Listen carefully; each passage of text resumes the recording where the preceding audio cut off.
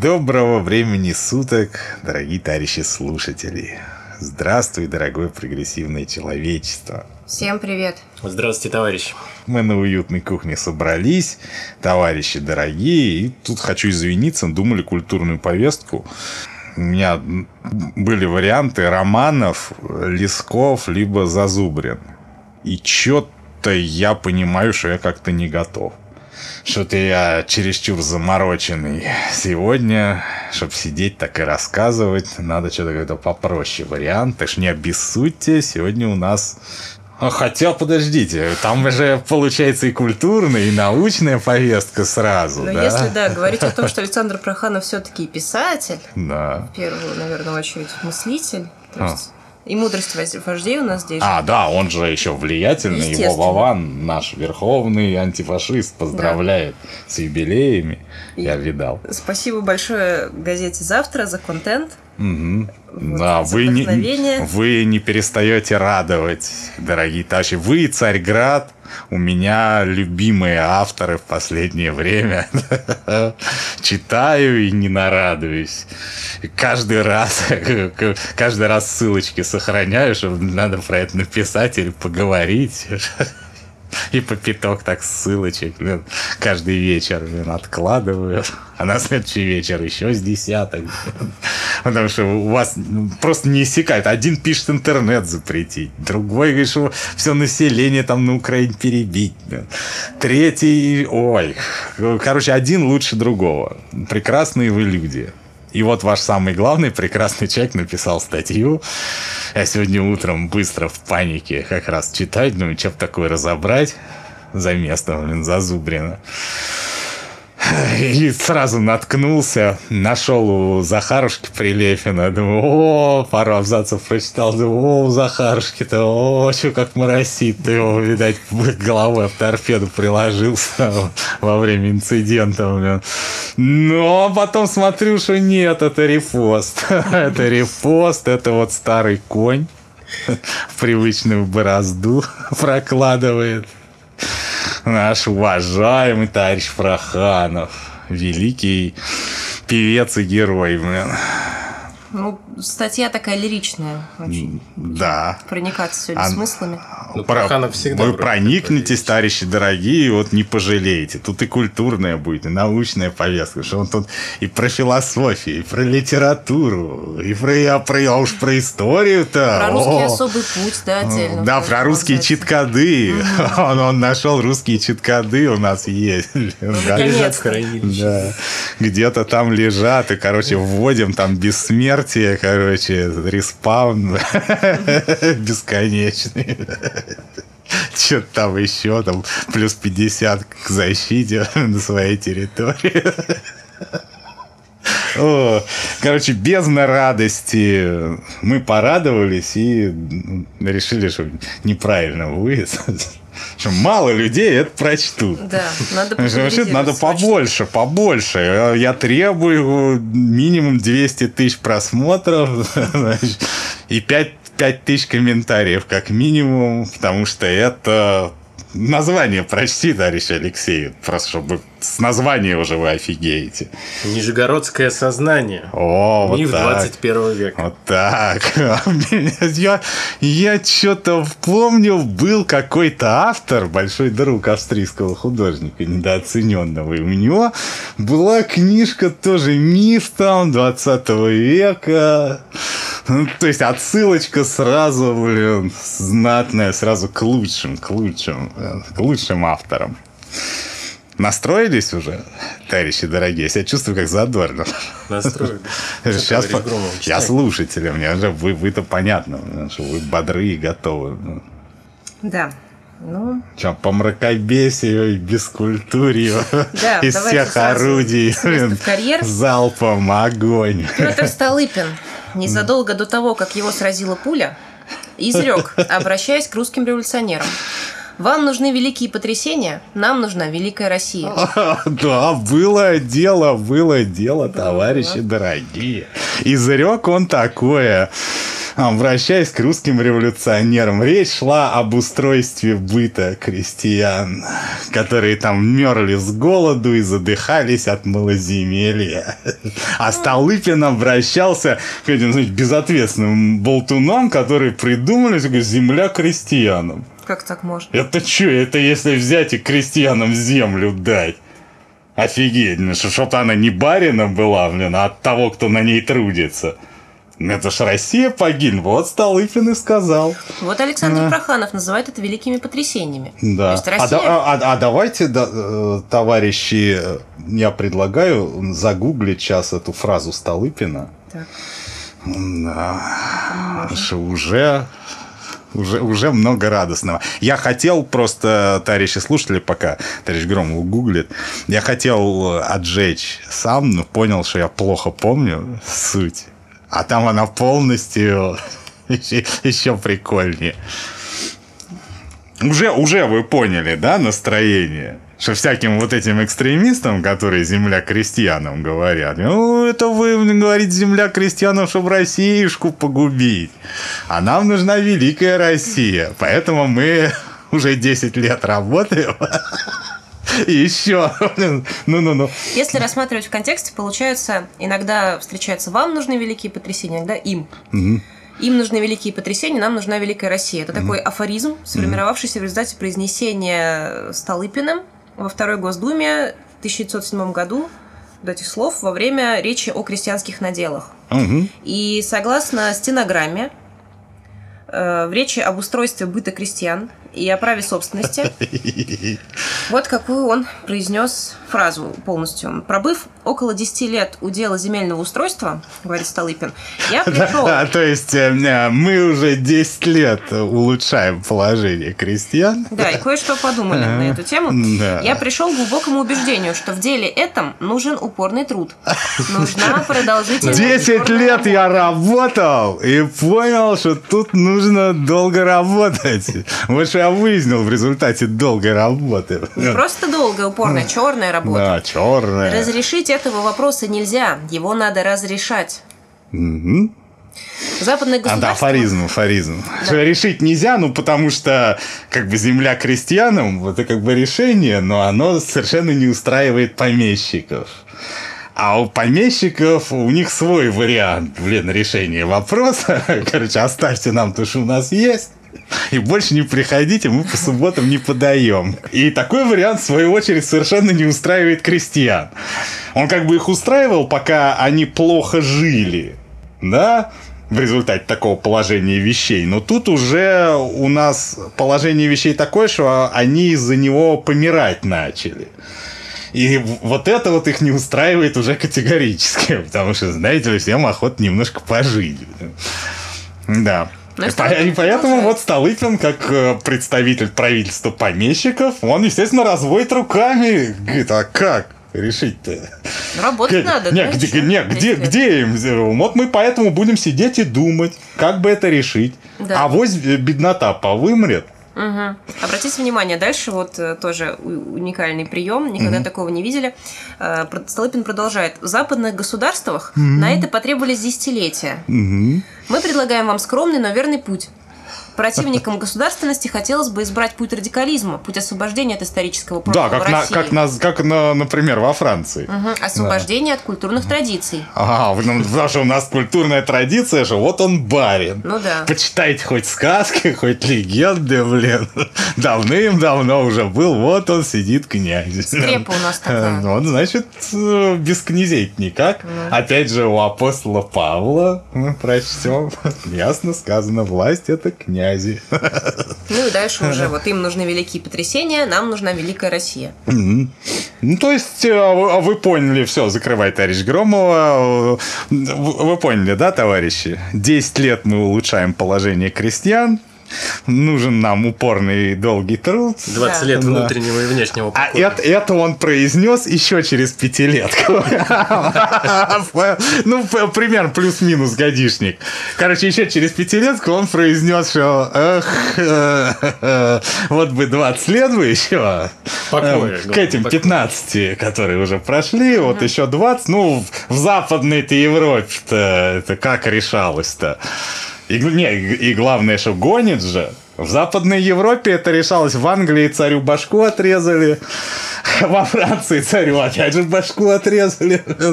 Да. И решили вот решительно, что баром пинка под зад. Да, и порывались также еще в Австрии и по этим германским княжествам порешать, но тут вмешался жандарм Европы, пришел, навел порядок. Ну, возвращаемся к Проханову. Да-да-да. Ну, поняли, товарищи, да, Да. что он процитировал. Контекст. Великие потрясения. Очень актуально, да? Что, знаете, ваши эти предложения улучшить э, жизнь народу, от этого Россия может погибнуть. Как Путин, ты говорил, если зарплату, ты говорит, повышать. Же разбалансируется бюджет предприятия, правильно? Вот если урезать зарплаты, ну, это ничего, это баланс сохранит. Ну, А так и тогда, видите, экстремистов увещевали. Россия не избегла потрясений и лишилась имперского величия. Ай-яй-яй. А только... смуту, ну, гражданскую войну, историческое безвремение, из которого родилась новая Российская империя, красная, сталинская, достигнув своего величия в победные дни 1945 года. И если вы думаете, что вот эту бредятину придумал Проханов, так вы ошибаетесь. Это было такое направление смены вехмля. Да. Он это все подрезал у них. Между прочим, э, Прилепин, уже упомянутый, он тоже много, я его почитываю тоже. Еще третий, вот мой любимый автор. Я его почитываю, и он тоже много там подрезает из сменовеховцев, но он, в отличие от Проханова, честно, блин, цитирует, блин, да, и указывает автора цитаты. А в целом весьма нечестно. Ну, же это бредятина. А он прям с таким видом, что вот, типа, ученые еще тогда поняли. Ну, и дальше тогдашнего Проханова. Цитирует. Имперское величие. блин. Такое величие, какое у Российской империи, оно никаким нормальным людям не нужно. Оно нужно больным либо фашистам. Вот такое величие. А Советский Союз это была принципиально не Российская империя, это вообще была антиимперия. Там не было, блин, метрополии с колониями. Там была дружба народов, товарищи дорогие. Но в 91 году это величие вновь обратилось в прах, пишет Проханов. Россия утратила Ну, свою оно ра- государственность. Опять же, поправлю, оно раньше. Раньше обратилось в прах. Его сначала оплевали. ну, Еще... Ну, ладно, это тема для другой беседы. Тому мы будем сейчас беседовать о последствиях этого хрущевского доклада. Что там китайские товарищи про это говорили. Вот там Да, это там обсудим. Много интересного. Ну, а Россия погрузилась в пучину исторического безвремения. Без времени... А, это уже Опять. Дуги, Дугин подъехал. Ну да. Но Дугин тоже под- подрезал очень много всего у разных Не, мыслителей ну, понятное 20 дело. века. Но мы обратим внимание на ну, Проханова. Он не только древних. Смотри. Он и про современных никогда не скажет, что как мудро подметил. Товарищ Дугин, большой философ и мудрец. Вот и, Русская- ил бытия по, по другую сторону, циферблат. Но тут другое чуть-чуть. Тут не бытия, здесь таинственная синусоида. То есть русская история движется по таинственной синусоиде, по которой русское государство, преодолевая потрясения, восходит к своему величию, чтобы снова рухнуть в пропасть, Не, смотри. пережить историческую смерть. Понял? То есть у, нас в истории, да, то периоды упадка, а то вдруг раз возвышаемся, блин. А потом бах, опять вдруг упадок. А потом опять вроде возвысились. По-моему, У достаточно кого в истории вообще такое было, да? Все же, блин, сразу были как сейчас. Ну да. Еще, блин, тысячу лет назад Евросоюз, гейские браки там. То есть ос- особый русский путь это и есть таинственная синусоида, получается. Да. Только она, я говорю, она повторяет блин, синусоиды всех соседей буквально. Но тем не менее.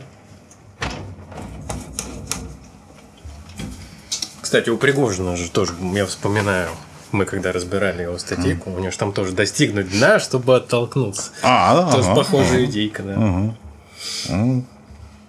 Это они все нас пытаются приучить к мысли, что на дне нормально, что, ничего страшного, что мы на дне, мы типа куда-нибудь скоро оттолкнемся.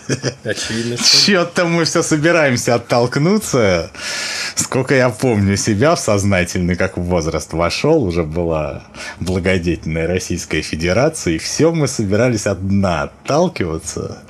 А потом оказывалось, что мы еще его не достигли, но вот-вот достигнем и оттолкнемся. Но раньше уже был разговор регулярный про путинскую стабильность. А. То есть это было такое курсирование, видимо, около дна, не достигая его. А вот сейчас Сейчас надо, Процесс надо достичь. Каждый раз, когда мы достигаем дна, кто-то стучится снизу и любезно приоткрывает нам люк. Оказалось, что это было не дно.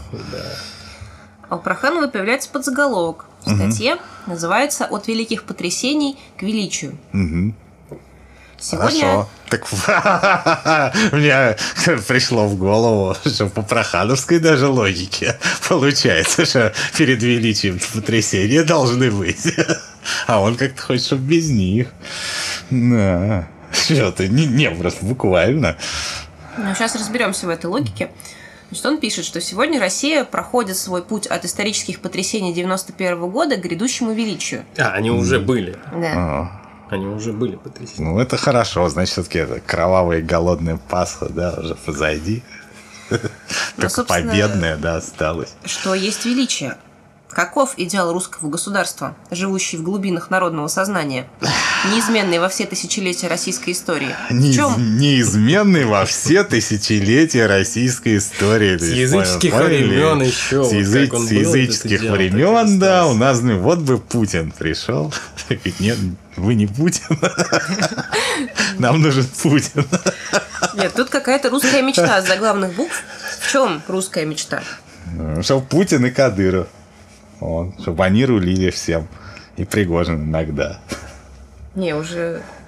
Он уже вы- вычеркнут из русской мечты, нет? Как он в Африке там насаждает ее? Людоедом. Он Обмениваться опытом к людоедам поехал. же. Есть еще информация, что он теоретически должен на Польшу нападать в будущем. Ну, если теоретически, хрен его знает. С нашим начальством, пожалуй, и станется. Дай ему, Картошку Господи. пойдет. Создай ему, Господи. Так вот, в чем же русская мечта? Эту мечту не сформулировать за круглыми столами высоколобых мудрецов. Ее не услышишь с политических трибун. Только настойка из мухомора. Ее не обретешь, беседуя со сладкозвучными проповедниками. Ее А, можно... а ты, а ты, товарищ Проханов, ты какой проповедник? Сладкозвучный? Или высоколобый. Или... Что-то, по-моему, ни то, ни другое. Так вот, можно эту русскую мечту угадать, подслушать, вникая в голоса, Когда- звучащие ка- из недр русской истории. Если ты с Владимиром Владимировичем рядом, и ему вдруг на трубу позвонит глубинный народ, он трубку возьмет, и ты, если прислушаешься внимательно, ты сможешь уловить отдельные реплики, что там доносится, и тогда узнаешь. А это глубинный народ из недр русской истории звонит или из какого-то другого места? О, Просто- кто же его знает? Только Владимир Владимирович знает. Может быть, он с того самого у него- дна у него телефон. звонит, от которого нужно оттолкнуться. Да, что-то фантазия разыгралась. Ладно, как мы... Ну так потому что кого читаем-то? Ты подожди, еще что в конце будет. Как мы, э, как, как мыслили себе этот идеал государства самые озаренные, просвещенные представители народа, обладающие ясновидением? Мгм. А. Как там ясновидцы-то поживают? Вопрос интересный и актуальный, злободневный. Как мыслили ее наши языческие предки? Сказочники, волхвы, скоморохи. Самая, да, ну, словом, интеллектуальная элита того времени. Скоморохи особенно. Надо поспрашать у них. Товарищ? Проханов. Да, да. У нас тут пара есть даже. Зачем были? У нас на остановке один сидит, и у помойки другой. Ясновидцы. Я, я не знаю, как бы. Ну, обычно взгляд у них отсутствующий такой. Явно с Аполлоном там общаются. Так вот, э, они мечтали о царстве, где главное место занимает Иван Дурак. Просто... Простолюдин, бессеребренник, превосходящий своих надменных братьев умом, добротой и трудолюбием. Ну, как у нас всегда и было, да, во, во всей российской истории тысячелетней. Всегда кто на троне сидит, Иван Дурак, который очень трудолюбивый и ни разу не надменный. Вообще. Да, а что на колени перед ним бахаются, так это не потому, что он хочет, а, а так просто протокол. Так вот, этому Ивану Дураку, а не князю или боярину, дается в руки жар птица. В сказке. Да, а в жизни что ему там батаги и дыба. Вот что ему дается. Но мечтали же сказочники. Мечтали, мечтали. Они много, они много о чем мечтали. Там бывало, что в этих мечтах там отдельным классом приходилось не сладко. В мечтах. А иногда мечты в жизни еще воплощали. Ну, еще в этом языческом райском царстве растут молодильные яблоки. Откуси и разгладятся твои морщины, вернется молодость, отступит старость. И как сядешь ты, как забабахаешь, блин, статью, страниц на 10. О нижегородском сознании особом. Че нижегородском У нас вроде другой Новгород, он старее. Ну ладно. И в этом царстве льется мертвая и живая вода, исцеляющая раны, воскрешающая из мертвых. Где такое было? Живая вода, это опять, опять же только, только у нас. Ну, я говорю, разве были другие сказки? А, ну, да, арабские или какие-нибудь у, у Шарля Перо, там ты где-нибудь прочитаешь про живую воду, например. Или про какие-то там во- волшебные фрукты. Угу. Или ковры-самолет. Ковер-самолет наши придумали, наверное, да. Другие не умеют мечтать. Языческие ну, ясновидцы-мечтатели уповали на царство, где нет угнетения богатым бедного, сильным слабого. Ну, я помню такого язычника, да, Томас Мор, такой славянский древний друид. В шкурах ходил. Книжку написал «Утопия». Что-то ну-ну. Ну, как мыслили себе это идеальное бытие православные мистики, наши святые проповедники Сергий Радонежский, Серафим Саровский, старец Филофей, создатели учения А Матронушку, Матронушку забыли. Зато вот она тоже много понимала в том, как надо, что она он знала даже, как эти города оборонять лучше Сталина. Про это будет еще. Я не сомневаюсь. Часто было бы уместно.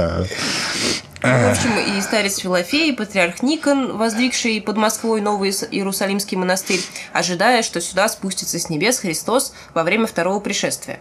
А, ну как да. же они мыслили себе? Христос же там говорил, да, в Библии, что как, как, как, я, как я приду, мне это хату забабахаете сразу под, под Москвой, чтобы мне сразу расположиться. Да. А то я в прошлый приход набомжевался. В следующий раз хочу с комфортом. О, вот. да. Как, о чем же мечтали все эти старцы мистики? Ну, причем всю дорогу об одном и том же, смотри. То есть он, я говорю, этот друид, в лесу, который жил и молился к лесу, и этот патриарх Никон э, Кеннон. Они, оказывается, мечтали об одном и том же, чтобы богатый бедного не угнетал. Ну и это не все еще. Они призывали князей, царей, великих властителей не уповать на расширение своих земель или ага. стяжание казны, а, а пуще всего сберегать ну. православие. Это учение о Царстве Небесном. Ибо православие не кадильные дымы, не лампады, не золотые купола, а учение о, о том... это что-то он в протестантизм ударился, да? Учение о том, каким должен стать человек, чтобы попасть в царство идеальной красоты, доброты и бессмертия, поселиться в божественном чертоге. А, ты знаешь, гадости не делай по жизни. К чему же он ведет? Дальше еще про русских космистов вспоминает Александр Проханов и тоже задается вопросом, как же они себе мыслили этот идеал. Угу. Удивительная Ох. русская плеяда, подобие которой не сыщешь в других народах, вот русские космисты. Как думали они Вернадский, Циолковский, Николай Федоров? Федоров полагал. Мне, мне, мне нравится какая-то Федорова с Циолковским. Ну, да. Через запятую, да, правильно. Вот и тут а, а, особенно про Федорова, который полагал, что человек способен достигнуть такого совершенства, такой чистоты, такой прозрачности для света, такой незамутненности, что может стать солнечным человеком. И этот солнечный человек, соединив свои дарования с Я считаю, это нашей национальной науки, идеей надо сделать. Что нам немедленно надо сделать нацпроект, короче. Солнечный человек? Да, чтобы надо как, 2024? как можно больше, ну, я думаю, к 24-му не, оберни, не, это не, не успеем, блин, А, к 30-му всех это все распылить, блин, это на, на, на атомы. И превратить, в лучи света. Я помню, в «Терминатор 2» там, было, там был, блин, эпизод, как там сразу много народу солнечными стали. Да, было. Ну так вот, надо... Они с камышовыми людьми не родственники, нет? Солнечные люди? Да. Нет, это др- разные вселенные.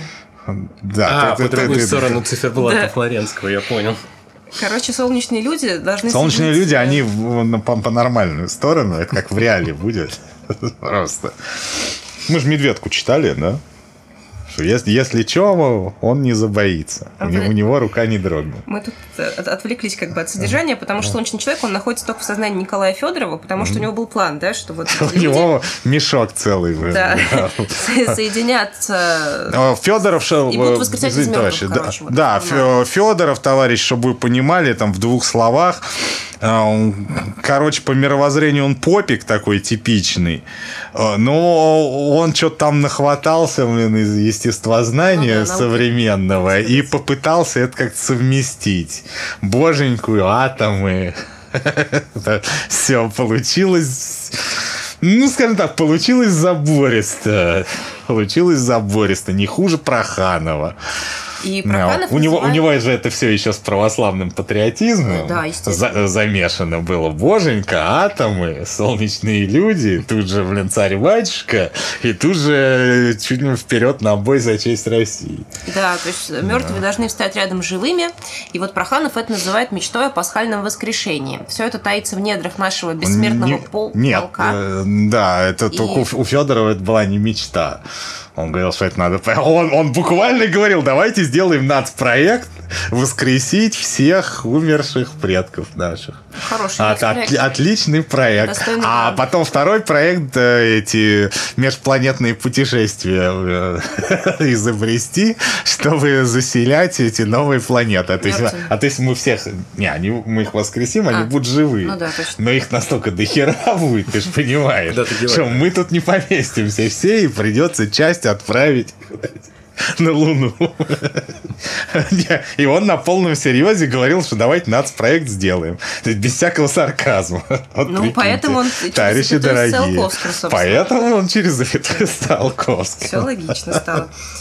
И более того, он же вперед Гагарина с Королевым, да? Человек, мы, мы, мы, мы ж время. теперь знаем, что кто, блин, придумал концепцию, тот и, значит, считай, тот и сделал первый, считай. Потому что в Кали-Югу э, эти намерения приравниваются к действию. Вот. То есть это, видишь, еще с этой точки зрения правильно. Так, значит, э, Знатный эзотерик. ну, все понятно. Значит, становятся рядом с верующими просветленными потомками, мертвые герои. И вме- вы вместе все идут покорять соседей, например. Или на Марс. Ну. Как чувствует это идеальное бытие наша русская словесность, наша великая русская литература, через которую сам Господь говорит с народом? О, Как отражается эта мечта в произведениях Толстого, Пушкина, Лермонтова, Достоевского, Гумилева, Твардовского? Ну, а товарищи дорогие, это а, обращу отдельное внимание, что это у нас мейнстрим. Это не мы нашли прикольного мракобеса, какого-то откопали где-то, хрен знает где, на каком-нибудь маргинальном сайте, блин, с 12, блин, подписчиками. А, и тащим его, типа, на публику. Нет, это мейнстрим у нас. Вы включите, блин, центральные каналы и услышите там вот примерно то же самое в политических ток-шоу уже. Причем, опять же, не, не как ре- реплику типа справа, а как уже то, то что ведущий задвигает. Ну, линия партии, А, Да, и как линия нашей правящей партии. Ну а вся русская словесность – это рассказ о схватке добра и зла, рая и ада. Ага. Это стремление победить в человеке Где, ад. где такое было вообще, опять У же? Твардовского, Кто, кто- не, а в Европе кто-нибудь писал? А, не, не. Про ад, рай, да. Они не знали такого, они сразу все про права гомосеков. И, все, и слышать ничего другого не хотели. Победить в человеке ад, взрастить в нем рай. Мгм. Это одоление бесов, которые тянут мир и народ к потрясениям. И возвеличивание в Ух человеке... хоть и вес. Их же, же именно потрясение. Вот родное начальство говорит, потерпите 10 лет. Потом говорит, потерпите еще 5. А потом, говорит, еще 20. И, короче, вы Россию не узнаете. А потом, нет, там потом, ну, если бы 17-го не случилось, то, я понимаю, они бы сказали, что теперь, поскольку у нас война была, то есть эти 20 превращаются 40. ну и так далее. Короче, Столыпин, он, видишь, он много думал 10 лет, додумался, что надо много работать. То есть труд был плодотворный.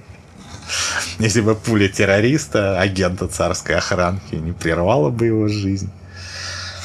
Вот помимо одоления бесов, надо еще возвеличивать в человеке светоносного, светоносное божественное начало. Это хорошо. Да. Помогает ракета в этом. Вообще помогает устроить войну.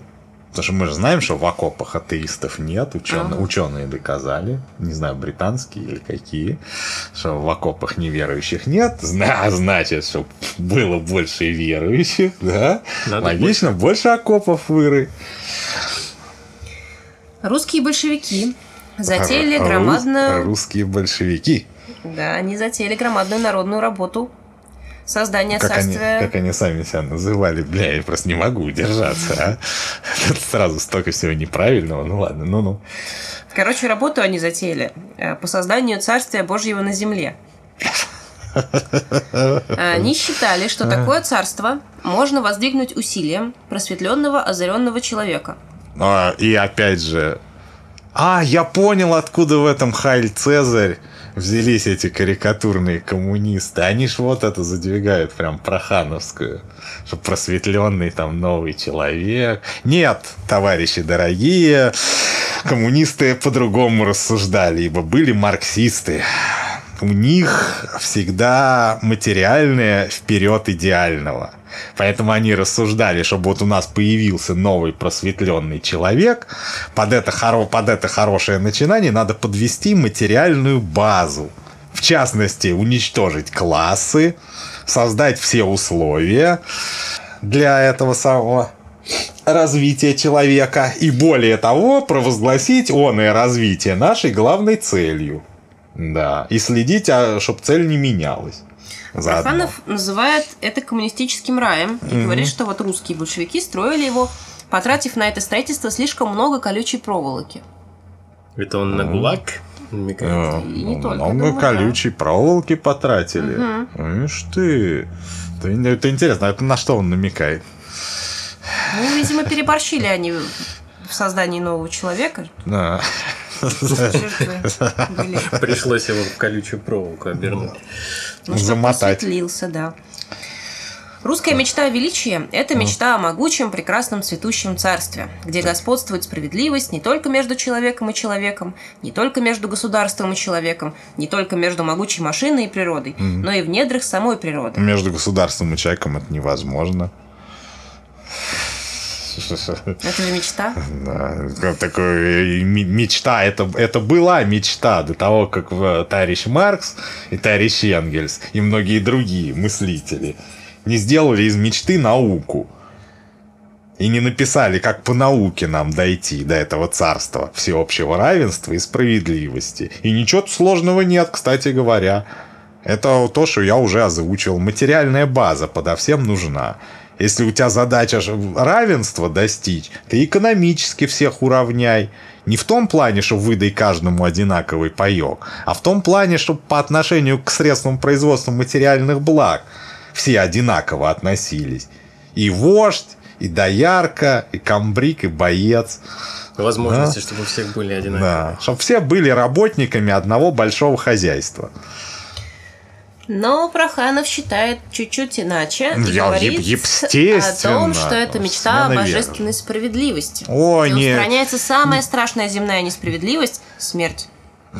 Нет, товарищ Проханов, остановить смерть, это, конечно, мечта хорошая, как у Федорова, блин, тоже, да, классно, воскресим, там, предков. Но э, у меня на это небольшое, блин, возражение. А может, мы перед тем, как этим всем заниматься-то, мы, может, жизнь э, наладим, вот просто жизнь, обычную жизнь. Чтобы эта жизнь была, а не сплошные унижения и превозмогания. На ровном месте. Там, где ничего не надо уже превозмогать. Вот о чем, блин, марксизм был. Не про то, что царство Божие. Это, блин, это он начитался у этих всяких обновленцев, что ли? Которые по эти самые попы, которые хотели при делах остаться и решили как-то это совместить блин, коммунизм с религией. А, вот он, обновление. Как отец Федор.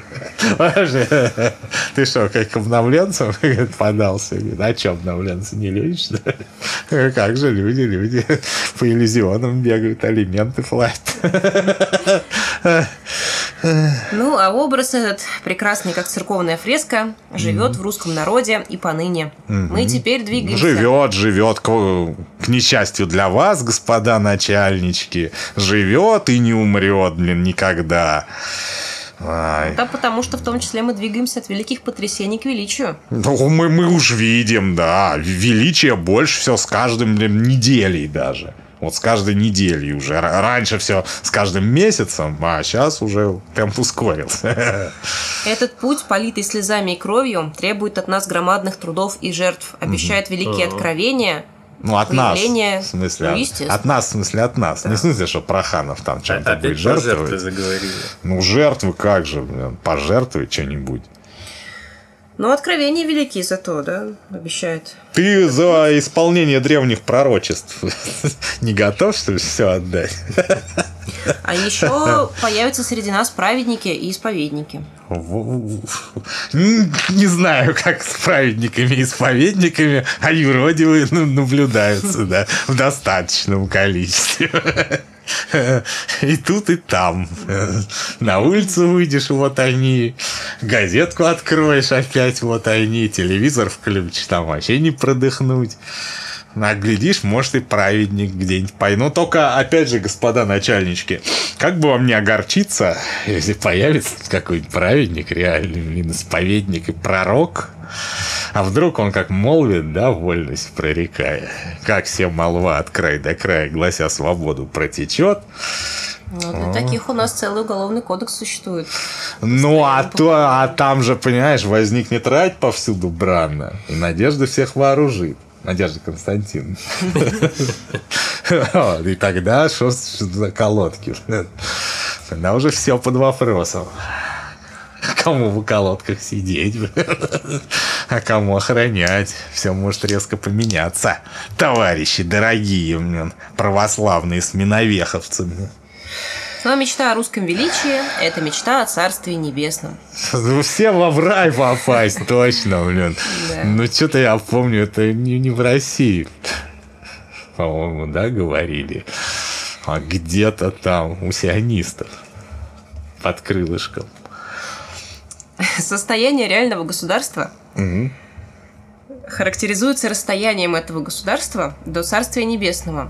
И Не, а оно- что Флоренский же а, от, Да. от нашел, эти, наверное, рай нашли уже штанги, меряют. циркулем уже измеряют. Расстояние уже известно. Да, куда, сколько туда ползти. Но вот это государство в своем становлении стремится уменьшить это расстояние, к идеалу.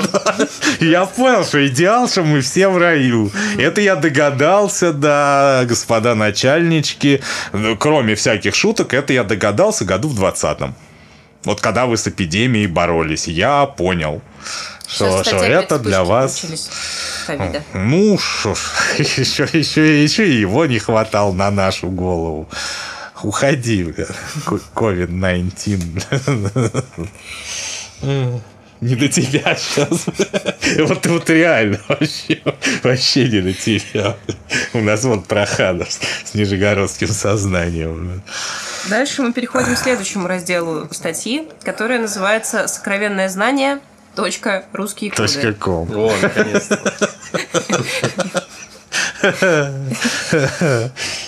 Русские чит-коды, какие они? Сейчас пойдем вникать. Э, К величию ведут сокровенные русские коды, если что. Э, Коды знаменуют собой народный опыт, добытый среди потрясений, падений, озарений, восхитительных достижений. Ага. Коды – это ступени, по которым народ поднимается к своему величию. Великий правитель – тот, кто Ступени ведает, такие выемки. великий правитель ведает сокровенные народные коды. Ага, Владеет во, во, во, таинственным Владимир, знанием. Владимир Владимирович на своем компе вводит чит-коды все время. Я все время и думаю, ну как можно было вот стать таким антифашистом? Вот настолько антифашистским. Ну, Только чит-код. Теперь все стало на свои места. И он их ведает. Да, он умеет их запускать, вскрывать кладовые драгоценного народного опыта. И кл- и кладовые, да, умеет, умеет, это Большой специалист. Э, Но Это народный точно патриотическая статья. Бля, до меня только что дошло. Бля, может, это все сарказм. Может, это он как, только как я, точно так. Ну, это было блестяще. Может, он, не, может, он как Энгель, Энгельс говорил же, блин, по молодости. Я, говорит, писал эти патриотические стишки вот там в таком саркастическом духе, что все умрем за государя-императора. Отправлял в газету говорит, патриотов, говорит, а они брали и печатали. Говорит, Они даже не врывались, что это сарказм. Может, у него такой же случай. Попробуем найти еще какие-нибудь э, тайные подмигивания в тексте. Да. Ну, соответственно, вот этот народный опыт, он превращает э, когда правитель открывает кладовые драгоценного опыта, вот это все превращает народ в народ победителя. А, понял, понял. Логично, если, если тебя кладовую обнесли, то ты, значит, победитель. То есть, чтобы оттолкнуться, нужно достигнуть дна сперва. Ну и чем ты быстрее его достигнешь, чем тебе поможет родное начальство, тем быстрее, тем быстрее ты попадешь в рай, что есть наша заветная мечта со времен язычества. А потом тебя воскресят и бессмертный полк запишут. Как написал Да? Проханов. Да. Хорошо, хорошо. То есть вы вы да- даже после смерти, да, в покое не оставите, да, господа, господа начальники, да, как Радищев писал, что да, прибудет смерть, да, един покров, да, а от вас уже не спрячешься, да, вы все равно воскресите и сразу повестку. Попадаешь в Царствие Небесное, а там Путин президент. Вот. И все. Не, у нас же и здесь будет царствие небесное, ему зачем мотаться? Не, ну... Его гальванизируют Россия достигнет. Царствия Небесного, и автоматически, получается, Путин изберется на очередной срок уже в Царстве Небесном. А там вроде какой-то начальник был, не помню фамилию. Но у него-то коды есть С еврейской фамилией. народа победителя? А, я, я не знаю. Вот у у кого него коды, свои. нам- по, по идее, он эти коды сделал, он программист. По идее. Что он их и написал. Ну, ну ладно, разбираемся, что за коды. Суть такова, пишет Список Проханов. кодов, пожалуйста. Первый код. Код взыскания. О, это что-то из области магии. да, да. я про банки тоже подумал. Народ не теряет свои мечты, не забывает о ней даже в самые грозные, страшные и печальные минуты своего существования. Падая в пропасть безвременья, он продолжает чаять свое будущее, идеальное бытие, вымаливает, выкликивает его. Э, Насколько я помню, взыскание это не когда ты что-то вымаливаешь, а когда ты что-то требуешь. Ну, вообще. Или это новые смыслы? Словам придумываем. Ну ладно, хорошо. Следующий. Это все? Ну, это все, да. Это все? Это надо а, подумать. А, где тут, а где тут взыскание это? Такой так код попрошайства получается, если ты там что-то вы- вымаливаешь, да. Ну как, вы- как- Ну, попрошайство. Получается так. Да. Ну, ну, следующий сразу код идет. э, Код священного труда. Это прекрасное и благодатное царство. Плюс 50 к выносливости, да? Да.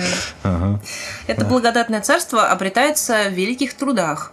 Плюс 100 к интенсивности. Проханов знает этот код, поэтому он до сих пор еще строчит такие текста, невзирая на преклонный возраст. В трудах, коими добывается хлеб насущный, в трудах, коими воздвигается могу- могучее государство, в трудах, коими достигается божественный идеал, ибо Царствие Небесное великими трудами дается. Да, да. Поп там кадилом машет, мужик в поле пашет. Все трудятся. Всем тяжело. Еще один код. Код Да, всё, что ли? Все, Нет. это очень коротенько, а дальше он будет это, Ну, видимо, ну подробнее ладно. разбирать. Ну ладно, хорошо. Потому что следующий код это код воскрешения. А, вот это он надо, да, сложное, на да. респаун Да. бесконечный. Так, ну-ка, ну-ка, вот мне его, пожалуйста. Я чувствую, он пригодится в ближайшее же время. Русская история пасхальна. Мгм. Русское государство, умирая, опускаясь в гроб, пребывая в нем три немых дня, вновь воскресает и возносится в новом цветении и силе. Мгм. Все русские начинания... Есть в этом что-то такое вот напоминает запрещенных и осужденных в России э, этих исламских государственников. У них тоже в том же духе все. Но все русские начинания, если их постигает неудача, несчастье или разорение, народной волей и любовью вновь воскресают, движут народ к величию. Был бы Путин, как говорится. Ну да, Это, найдется. возможно, связано с следующим кодом, код русского чуда. Без, без этого кода не понять русской истории. Россия и русский народ... Поэтому должны- нам объяснят, Мединский вон учебник накатал. Сейчас купим, разберем. О, класс. Ну так вот, Россия и русский народ должны были уже давно погибнуть, если бы не случилось чудо, О. которое каждый раз расточает тьму, вселяет впавшего духом новое мужество. Увидя, что все хуже идут у нас дела, зело изрядно мужа Господь нам не спасла. Вот еще это все чудо наделяет ослабшего силой, и происходит чудесное преображение тьмы в свет, поражение в победу. Мгм, мгм. Блин, Поражение, чит-коды. победу. И как с этим бороться? Ник- Никак не бороться, поэтому все и сдаются. Еще есть код общего дела. Достижение этого благодатного чудесного царства возможно через усилия всего народа. Всей А это, на, это нам артели. надо сплотиться. А, у нас артель? Наша огромная. Артель, товарищ Артель. Проханов, я тебе напомню. Это когда все пайщики, да, кто трудится. А у нас что-то как-то... И В артели, насколько я помню, там общее собрание всех пайщиков решает-то вопросы. Ну так-то да. Например, блин, кому какой пай нарезать. А у нас опять же что-то у нас узкая группка где-то там уединяется, а потом выходит, говорит, затяните пояса. блин. Или это другой чит-код. Но зато у нас все могут жертвы приносить. И это да, ос- не особенно, если заставить, блин. Куда ж ты денешься? Но у нас не только огромная артель, у нас еще боевой батальон. Вот. Общий Последнее время, да, выяснилось, что у нас еще и батальон. Общий труд, общая вера, общая жертва, общая победа – это и есть код общего дела. Мгм. Но это еще не все. Хорошо, еще коды полезные Код есть, хорошие. оборонного сознания присутствует. Да, да. Минус 30 к беспорядкам. Мы обороняем свою мечту Минус 10 к усталости от войны. и обороняем наше стремление к идеалу. Как, а, опять же, кто, кто-нибудь тогда когда-нибудь в истории человечества такое делал? Я вообще не в курсе, воевал кто-нибудь? А, нет, с Россией же воевали, точно. Ну да. Но не с Россией. Была какая-нибудь война, чтобы Россия там не участвовала? Когда кто-то напал на кого-то, кроме России. Русский народ во все века, исполненный оборонного сознания, Я, мне ре- реально это цивилизация. Да. Когда у тебя все это там вот копится с каменного века. Когда у тебя там пантеон какой-то был первый, блин, и он тебе эти бонусы дает еще, блин, в 2050. но, в общем, что с этим сознанием оборонным? Э, Хорошее, кстати, между прочим, на- название для всяких перков там в той же цивилизации. В общем, Те бы игры делали, товарищ Проханов. Нахрена ты политика? Офигенная вот игрушка получилась, фэнтези такое. научно не научно-фантастическое. Может, что сделают в рамках импортозамещения? На место Звездных войн. Ну да, вот, вот, да. вот, вот это. Тут лор намного проработаннее. Вот мы джедаи какие, оказывается. Так вот, русский народ, преисполненный вот этого сознания оборонного, отражает нашествия, имеющие цель захватить нашу землю. Да, не то, чтобы наши- там какие-то полководцы, выучка солдат, современное или не очень оружие. Не, не это решает. Решает, вы поняли, товарищи, да, иконку поцелуй, и вперед, и думаем, блин, что всегда так было и так надо. А если все плохо, так это только потому, что вот-вот станет хорошо. Фу. Так вот, эти сна- самые враги, да, Так. нападающие, они хотят раздробить наши священные коды, отнять у нас нашу мечту. Хакеры. Получается так. Да, дудос происходит. Ага. Ну, то есть, то есть, кто говорит? Например, что эти коды чухня. Да. Вот, вот уже себя показывает. Он, наверное, Как супа- супостат.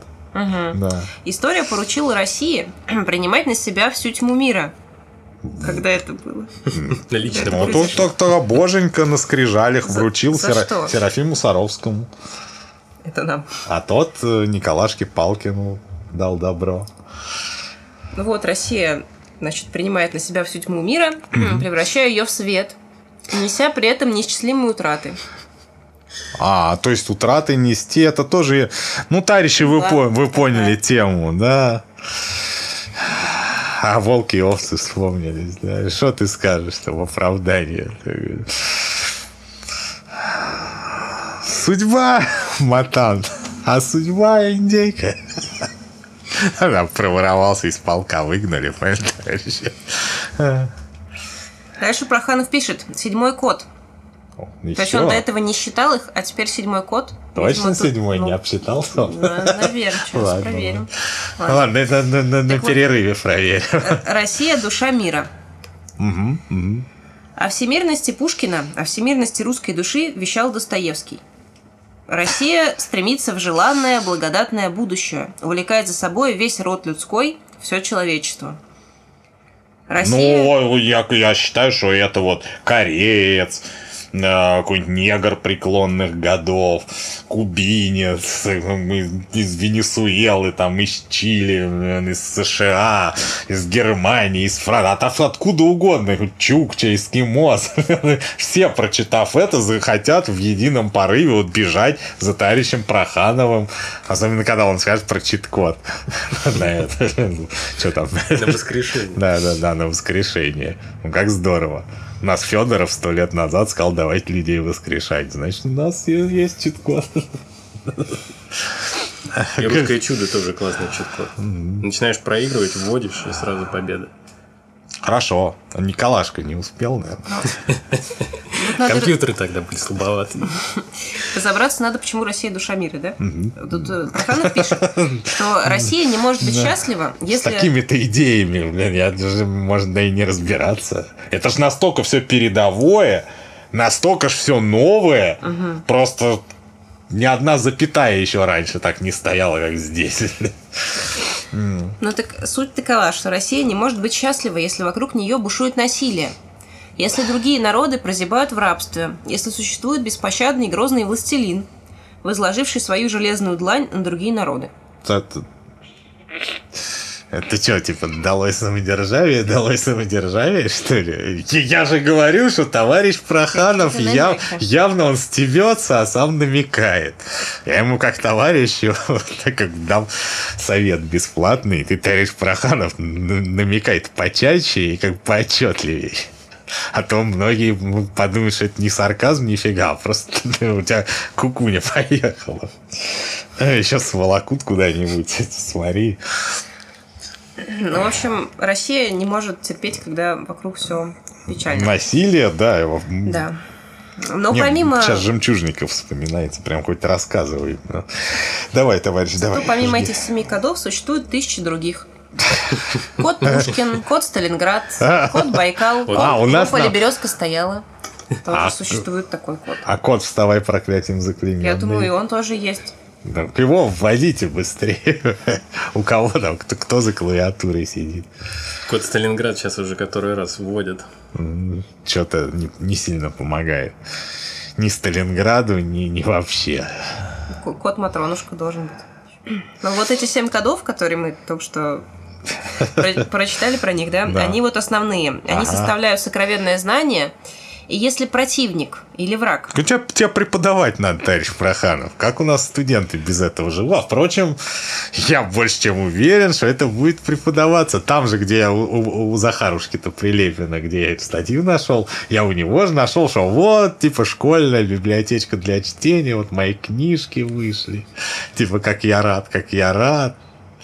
И попер там, не знаю, то ли для хайпа, то ли в натуре. Вот, там, как вот Пушкина там, типа, э, ти- типа этого Толстого при жизни изучать, знаете. Да, базара ноль.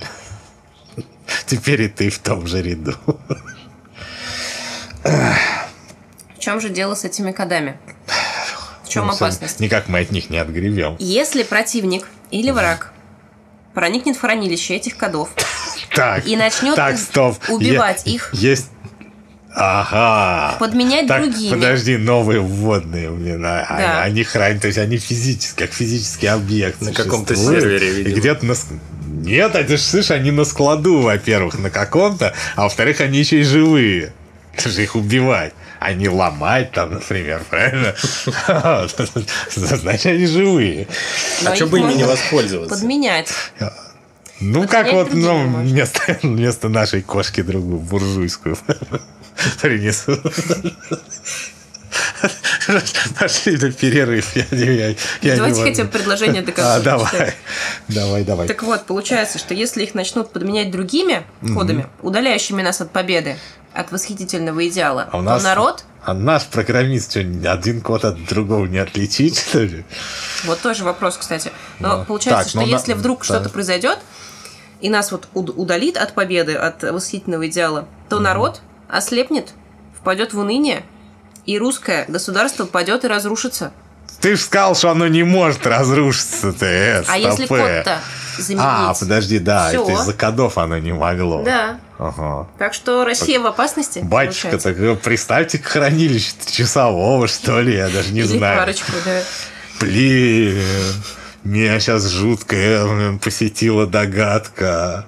Если они золото, бриллианты там хранили, блядь, с них ведь станется и хранилище с нашими читкодами, тоже там построить, блядь, сука, в соседнем доме с Пентагоном.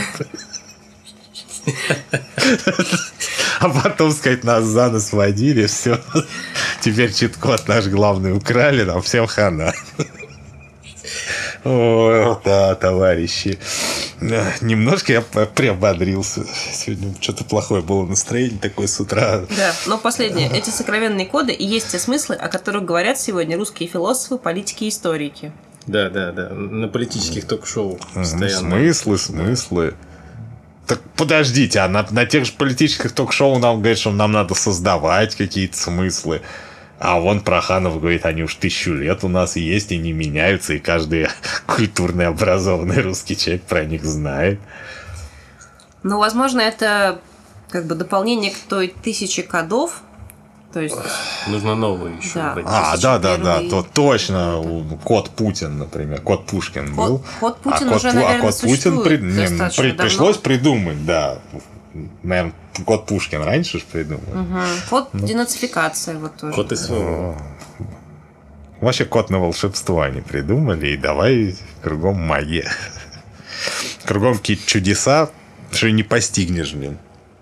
Пора, пора, пора перерыв делать. Да. Значит, нельзя Проханова употреблять большими дозами, только маленькими чайными ложечками.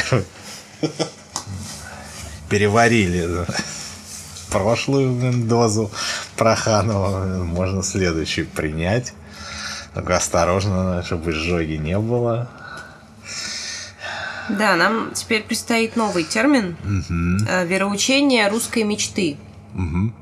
Православие, которое от языческих и шаманов нам Ну, перешло. практически так. Проханов объясняет это как... Мы э, Византию еще и научили православию. А, ну да, это же Икону, факт иконы им прислали. да. да. В Да и общем, вообще Иисус со Смоленщины был. Все же знают. вероучение русской мечты – это вероучение о русских смыслах и об их сбережении. Ну, то есть, о тех самых кодах, про которые... он Да, да, да. То есть они даже во времена Владимира Крестителя знали, что мы тут русские смыслы собираем. Я только единственное, что не пойму, если они физически реально существуют где-то в каком-то складу Питом. Не, не, это, видимо, какой-то питомник. почему это если они ве- живые. Это должно быть просто учение о том, как сберечь коды, которые спрятаны в каком-то складу. Но без веры Ну, коды не очевидно, вот, вот работают. это вот мы учение сейчас и изучаем. Как Да. раз о сбережении кодов. Но я как-то презираю уже, я как способный ученик, уже другие лекции послушав, я как презираю, что нам надо будет сплотиться, да, а потом принести великие жертвы. Так один я, из- я думаю, да. Так, в Почему кодах в это такой уже последовательности именно? А мне пришла смс -ка. Если мне внезапно понадобятся деньги, выручит кредитная карта Сбербанка. Рекламная интеграция. Не, не выручит, на самом деле проблемы усугубятся. Так вот, взыскание. Вот. Прям знак, знак. Говорим о кодах, и Что вот они даже, даже, даже не думай. Слушайте, Сразу, а- сразу А что взыскание. если их только э, и можно вербально активировать? Значит. Ну, как ты собачку активируешь вербально, там, апорт, А, понятно. То есть вот фас. все эти например. пропагандисты по телевизору, они сейчас как бы Занимается активацией кодов. да, активно, без перерыва, днем и ночью. ходят в этот питомник и что там делают, делают с питомцами. А потом он статьи пишут. Ну-ну. Величие государства – это плод усилий всех русских земель. Каждая русская земля – это река или ручей, вливающие свою чудотворную влагу в чашу русского величия. А каждая русская река, в свою очередь, это что? Это воздух? А воздух, в свою очередь, земля. Вот А, я помню, в, Джельсамино там был такой, да, что сыр это чернила, да, да. На утро это ночь.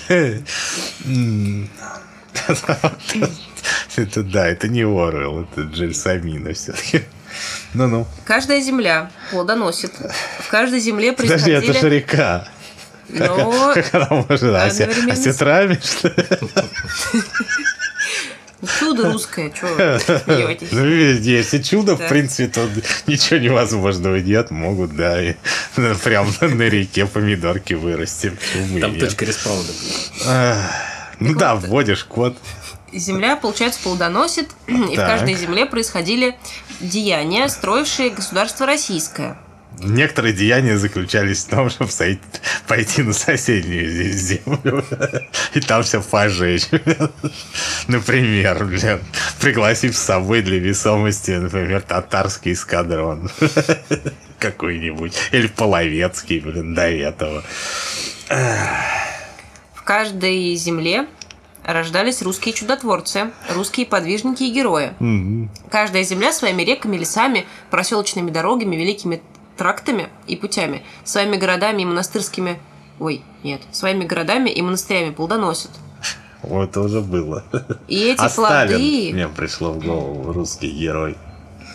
Как это он? Ну, А, подожди, он в Российской империи Ну, был. вообще, Все, да, туда благодать уже переползла. Мгм. И эти плоды, добытые в великих родениях, земли сносят своему государству, которое принимает их и, и взрастает к величию. Да, да, да. Ну, снесли, типа, не снесли Да. в смысле это, чугунные гири, снесли в смысле снес. снес. Ну, это те самые Принесли, да. народные кладовые, которые открываются, сносят государство, и государство... Ну, э, Про это- это вот, э, товарищи, читайте Тарас Григорьевич Шевченко. Сон, например, отличное произведение. Он как раз там и описал, что вот здесь, да, блин, последнюю рубаху снимают и туда все сносят, блин. А там уже не знают, куда еще брюлик себе, блин, при- прилепить на платье, потому что и так все увешано, блин. Очень некоторые были этим недовольным положением дел.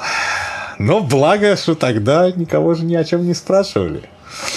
Ну, я так понимаю, что это мы только что читали про становление государства российского. То есть... Так оно какое становление, оно сразу появилось, там сходу языческие эти еще, блин, племена. Ну да, Надо- а потом... а, а, они нашли Да. питомник с русскими смыслами. Да, и за счет этих все смыслов начали, им начали там, все сносить, получается. все ходить начали в этот питомник. Да.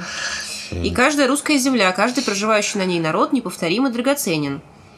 Каждый А. несет над собой свод русской государственности, свод великого русского храма. Ох, несем, батюшка, несем, блин, и государственности вашей, блин, и ваших храмов, блин, несем, и вашу... А, а в последнее время добавилось еще, блин, вы ко всему прочему кинули еще вот еще мечта.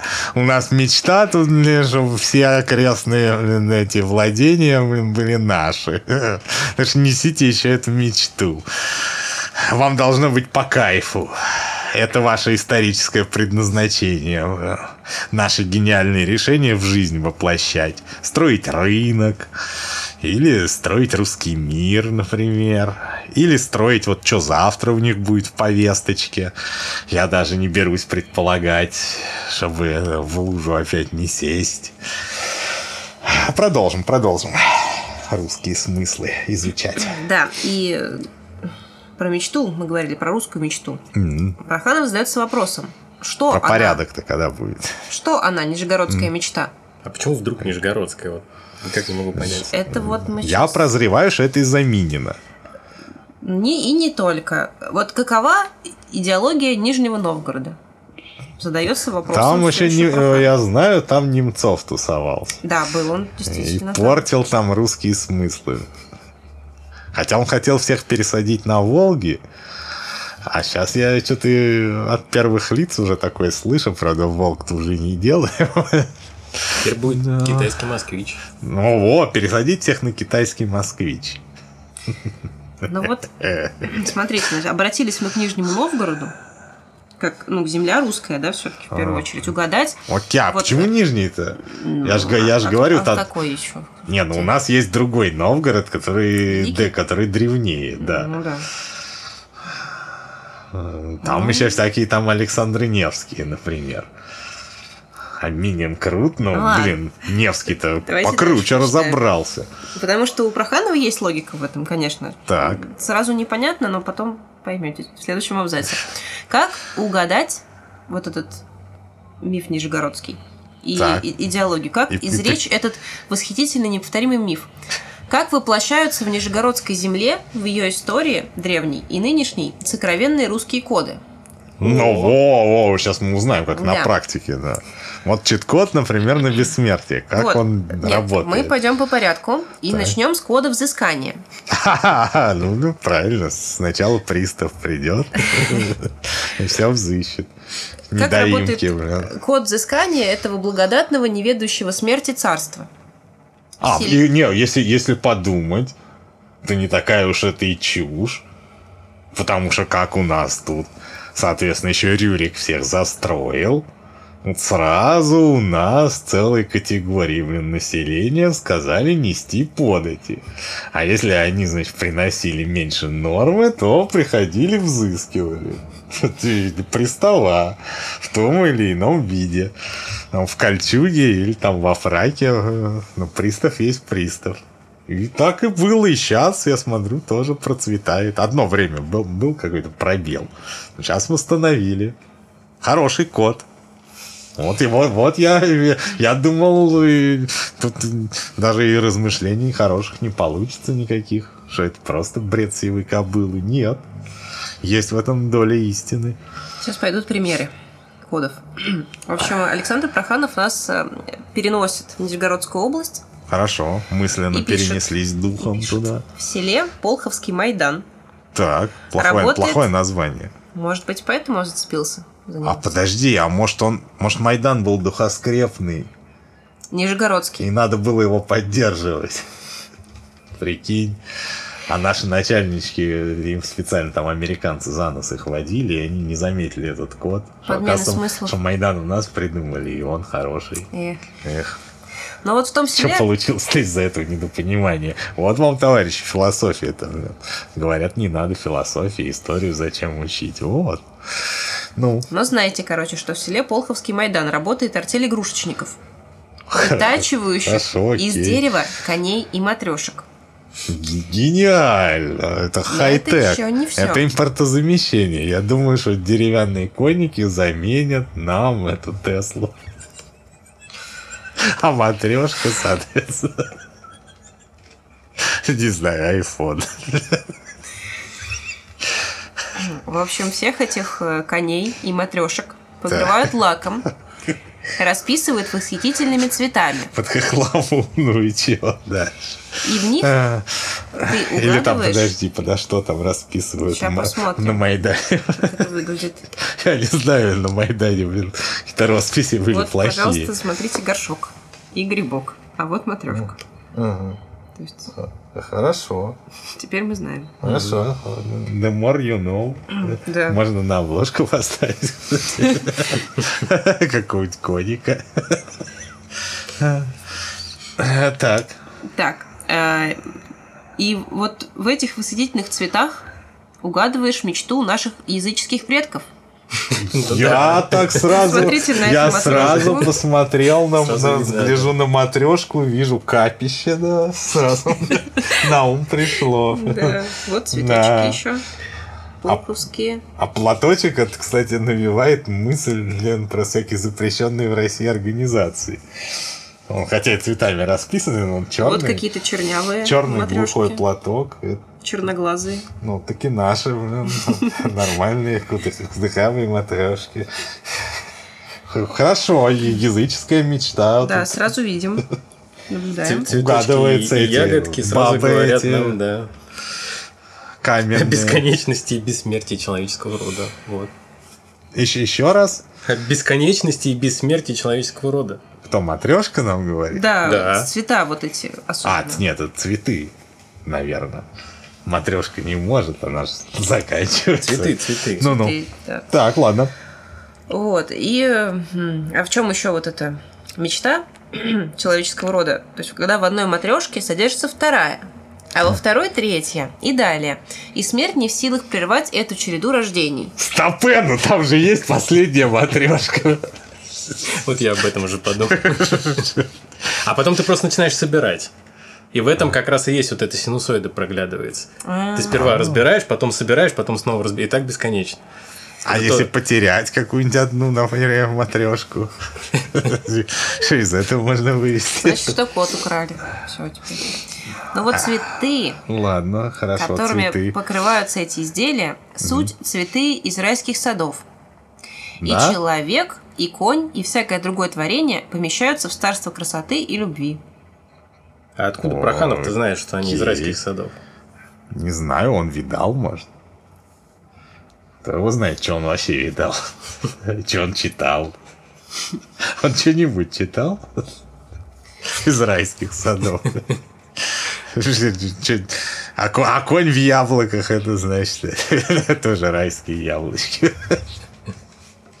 А, Ну ладно. А еще в Колховском Майдане на кладбище Молодильные яблочки. Так. стоят огромные в два человеческих роста надгробные кресты с надписью «Мы уже дома, а вы еще в гостях засиделись». А, это наша национальная мечта новая. что? Что что-то мы в натуре засиделись? Спасибо, блин, товарищ Проханов. Да. Не, ведь знаешь, он еще на моих похоронах простудится, блин, а? Даром, что ему там, кажется, 120 лет или сколько Ну, там. типа около. Наши предки, оказавшись в раю, зовут туда и нас, ныне живущих. Только после вас, блин, товарищ Проханов, как мудрый еврей на, на такое говорил, дождетесь. Вот хотел без черных слов и не удержался. Надо будет запикать его. Потому что нам что-то какие-то ограничения ставят, и мы не поймем за что. И на всякий случай вместо перекура говорим перерыв. Что, может, за это? Вот и без, чер- без черных слов, да, тоже запикаем Хорошо. на всякий случай. Ну, Начальнички ютубовские, вы такие тоже внезапные. Ну ладно, продолжим. Так вот, Царствие Небесное, кресты, Наша кладбище. национальная идея, я понял, Владимир Да. Владимирович не зря говорил. Все в рай.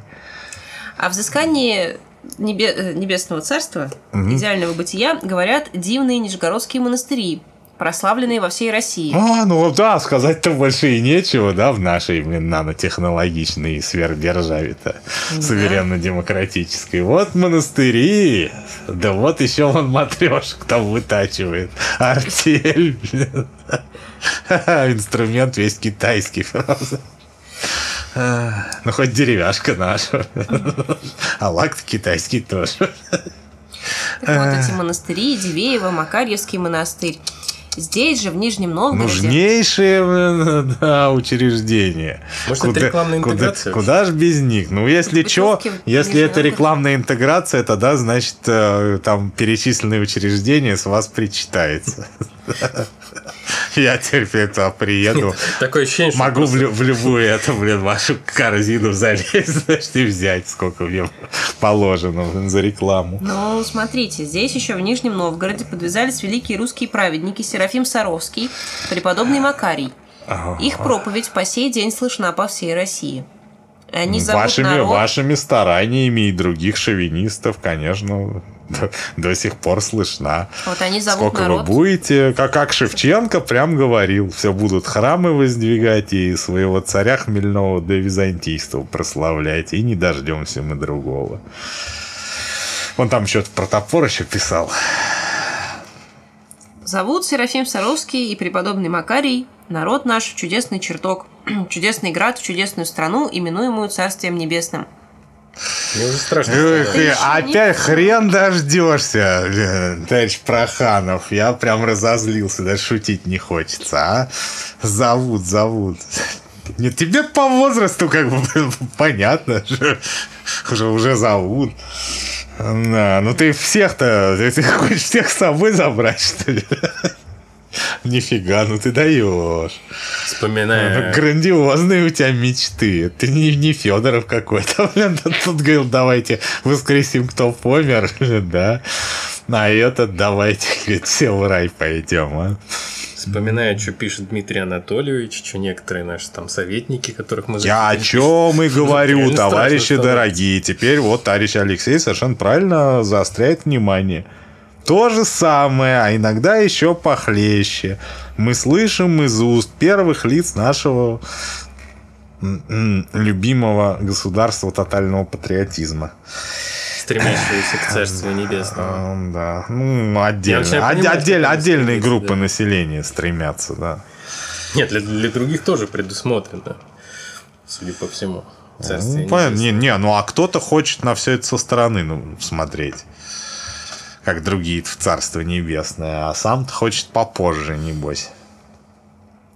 Ну ладно, На продолжим. монастыри и кони в, в лаке и Бла-бла. цветах. Это еще не монастыри, все. Бла-бла, матрешка, бла-бла, Еще? калина в поле В ручья. Нижнем Новгороде родился Максим Горький. Вот, вот, товарищ Горький в свою очередь завертелся. Да. Волчков в гробу, что его тут так- в, в в таком произведении припомнили. Кусает локти, думает, блин, не надо было мне несвоевременные мысли эти писать. Проханов поясняет, что Максим Горький – это певец великих преобразований, советский, пис- э, советский мечтатель, сформулировавший теорию социалистического реализма в литературе и искусстве.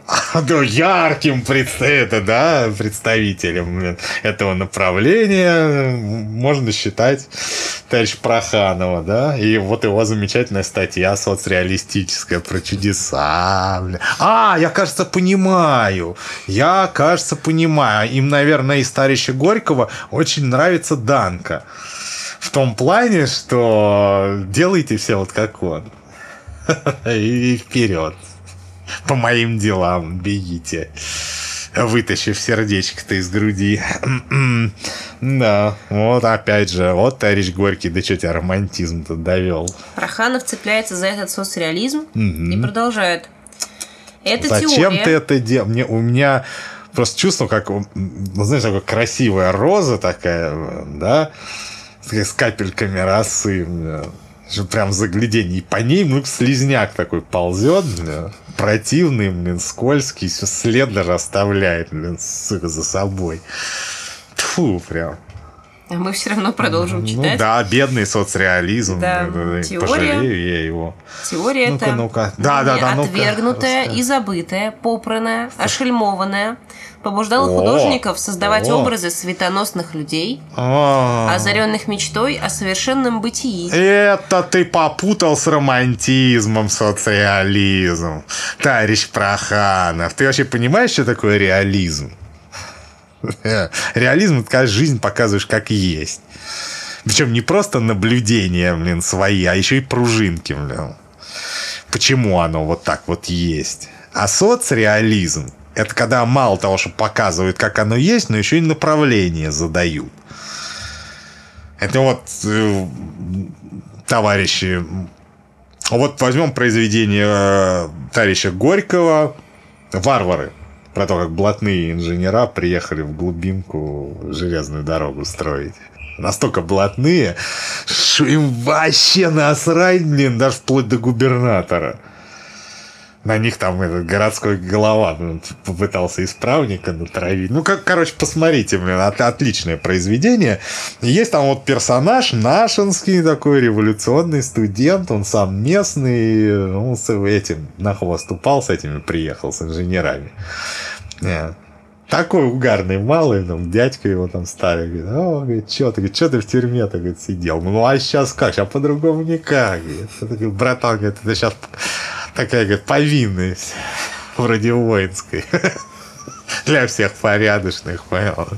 Ну вот, и пока основное происходит действие, этот студент, который там третьего плана персонаж, он тихо и незаметно свои дела делает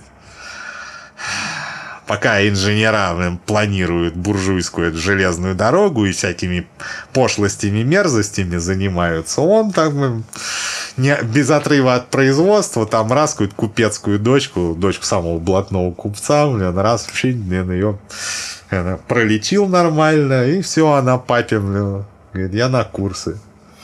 Я не буду этой животной жизнью жить. блин». Папа вскинулся, и что красиво. А она ему так красиво обосновала, почему она это делает, и почему он ей не должен, блин, мешать. Что он прям э, сел, блин, и сказать-то ему нечего, только слезы утирает. О, красота. Вот без этого персонажа, замечательного студента с его делами, это просто реализм, критический реализм. Показывает современное общество и его изъяны. А вот это именно черточка. Наш человек, который, блин, ну, понятно, цензура, все дела, так что он очень вкратце так, блин, очень обще накидывает наши идеи и наши задачи. В двух словах, но оно запоминается. Вот будете, если смотреть, товарищи, нам открывать глаза слепорожденным, оно врежется. Эх, Так что вот что такое соцреализм. А мечта, мечта, сентиментализм, романтизм. Это да, вот, вот они на мечте. Нам что мечтать, когда мы знаем, что делать надо? А почему Проханов цепляется за эту мечту, озарё- озарение мечтой? А почему, далее? не, а почему что- это Ленин еще сказал, что им буржуям э, им бы только вот взять хорошее, правда, выхолостить вот напрочь, Да. все для себя опасное убрать, и пусть читайте Горького, мечтатель был такой. Но Да. вот к чему он, собственно, ведет, выхолащивая, вынося за скобки все... Рево- все, всю революционную, со- революционное содержание, в, в котором, э, товарищи, самая соль, душа всего этого. Короче, все повыкидывал, он оставил только великие труды и часто смертные жертвы. Ого, ну, очень, очень удобно, очень удобно, господа начальнички. Конечно, блин. Житуха будет как сейчас, а жертвы, чтоб с такой же охотой приносили, как в Великую Отечественную. И И, дальше- мы, мы поняли, да, мы поняли, мы, мы поняли, кстати говоря, зачем вот это все же сейчас Великая Отечественная, все эти рассуждения. Зачем нужны люди, которые это все утверждают. Все понятно, господа начальнички. Увы, что-то довольно-таки топорно на самом деле работаете. Уши заказчика из-за каждой строчки буквально торчат. Но по нынешним временам я смотрю, сколько про это клиповое мышление э, рассуждали. Я думал, так, сказочки. Сейчас смотрю, просто у меня было общение небольшое с патриотической общественностью, я до сих пор нервный. Ну, просто вот человек, ну вот он, вот смотрим вместе передачу, там наглое буржуйское вранье. Причем они сами себе противоречат. Они вначале говорят так, а в конце выводят, а, что оно вот так. И одно с, с другим не стыкуется. И я вижу, что человек просто этого даже и не заметил. Просто вот, вот сказали, что в начале, он это отдельно воспринял. Потом он отдельно воспринял блок, который в конце. И все в голове, блин, положил на полочки. То есть вот оно, клиповое мышление, как оно есть. Да. Это как мифы как раз. Э, и как пересказывали, там же персонажи не сразу выстроились какую-то общую, да, общий лор. Mm-hmm. А сперва было так, что рассказывает, и персонаж такой. Да. А потом следующий миф тут же может рассказчик э, говорить. Тот же самый персонаж, но он уже совершенно другой. Люди совершенно нормально. Ну, понимают. нет, там все-таки а, оно же все к одной концепции приходило. Так или иначе. Ну, тогда даже тут, блин, даже Проханов не удержался про колючую проволоку там все-таки сказал.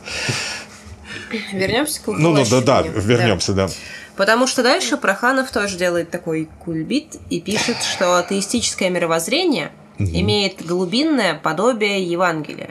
Нет. И все советское мировоззрение Нет. проникнуто идеей бессмертия, ибо советские герои-мученики, будь то Александр Матросов или генерал Карпышев, это не такое бессмертие. свою жизнь за идеал, ага. который превышает отдельную человеческую на, жизнь надо сказать, и является да? идеалом чудесным. На, на, надо сказать, товарищ Громову, да, про эту разницу.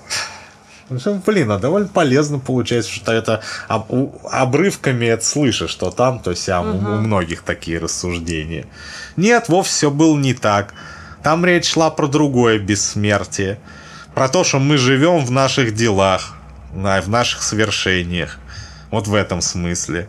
А не в том смысле, как у Федорова или как у Иисуса.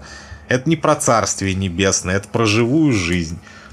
Да, и касаемо того, что атеизм это как Евангелие, подобие, религия. Это не подобие, это антирелигия. Атеизм – это взгляд материалиста на религию.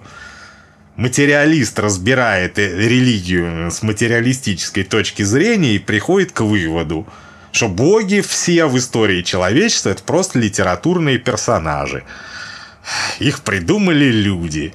Там это совершенно очевидно. Потому что как люди где-то живут, у них и боги так живут там на, в, в их выдуманном этом э, царстве небесном.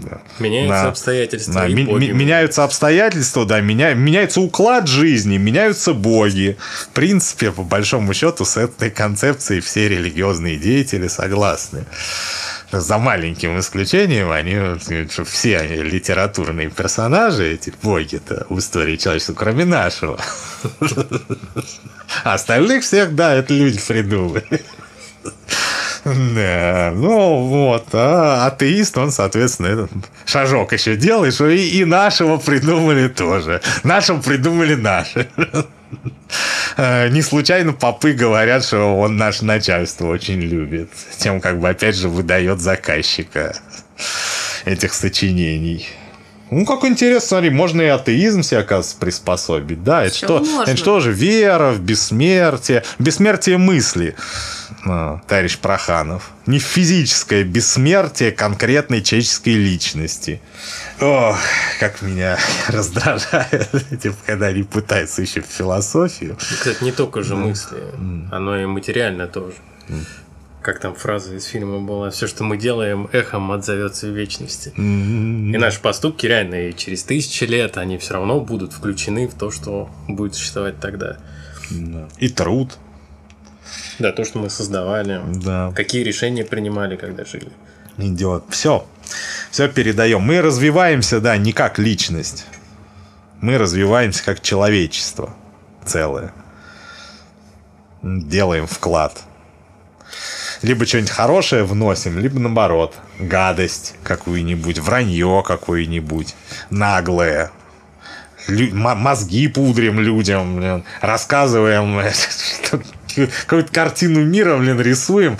Это даже в сказках такого ни хрена нет. Даже в сказках все последовательно. Тут на самом Там деле последовательно.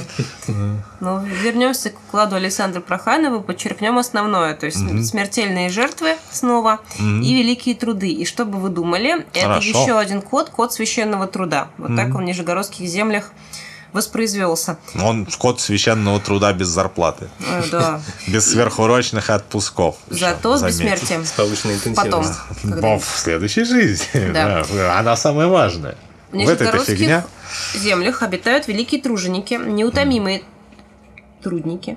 Трудники, да. Неутомимые трудники, совершавшие в давние годы расчистку непролазных чащоб, освобождая А место других- для паши. А в других местах сразу пашня была, что ли? Сейчас много за кого обидно стало. Да уж. За вятку. Вот Э. они взращивали на этих пашнях урожай, строя города, мастерские и заводы. Труд был тягостен, непосилен, надрывен. Да, и еще он был принудительный. Точно. Наши по большей части барин туда согнал, блин, да. Вот и сразу. людей, и они не, не, вкусили, блин, это, не, не насладились, короче, это пл- плодами своих трудов. Вот в чем фишка. Это получается, они потрудились, потрудились, а потом это бах от них унесли. А они загнулись, блин. Чего стоит труд волжских бурлаков, пишет Проханов. Нижегородцы, освоив земли к востоку от Волги, расширяли пределы государства российского, прилепляли к этому государству еще один часовой пояс. Слово-то И туда прилепли. запускали тоже бурлаков. Да?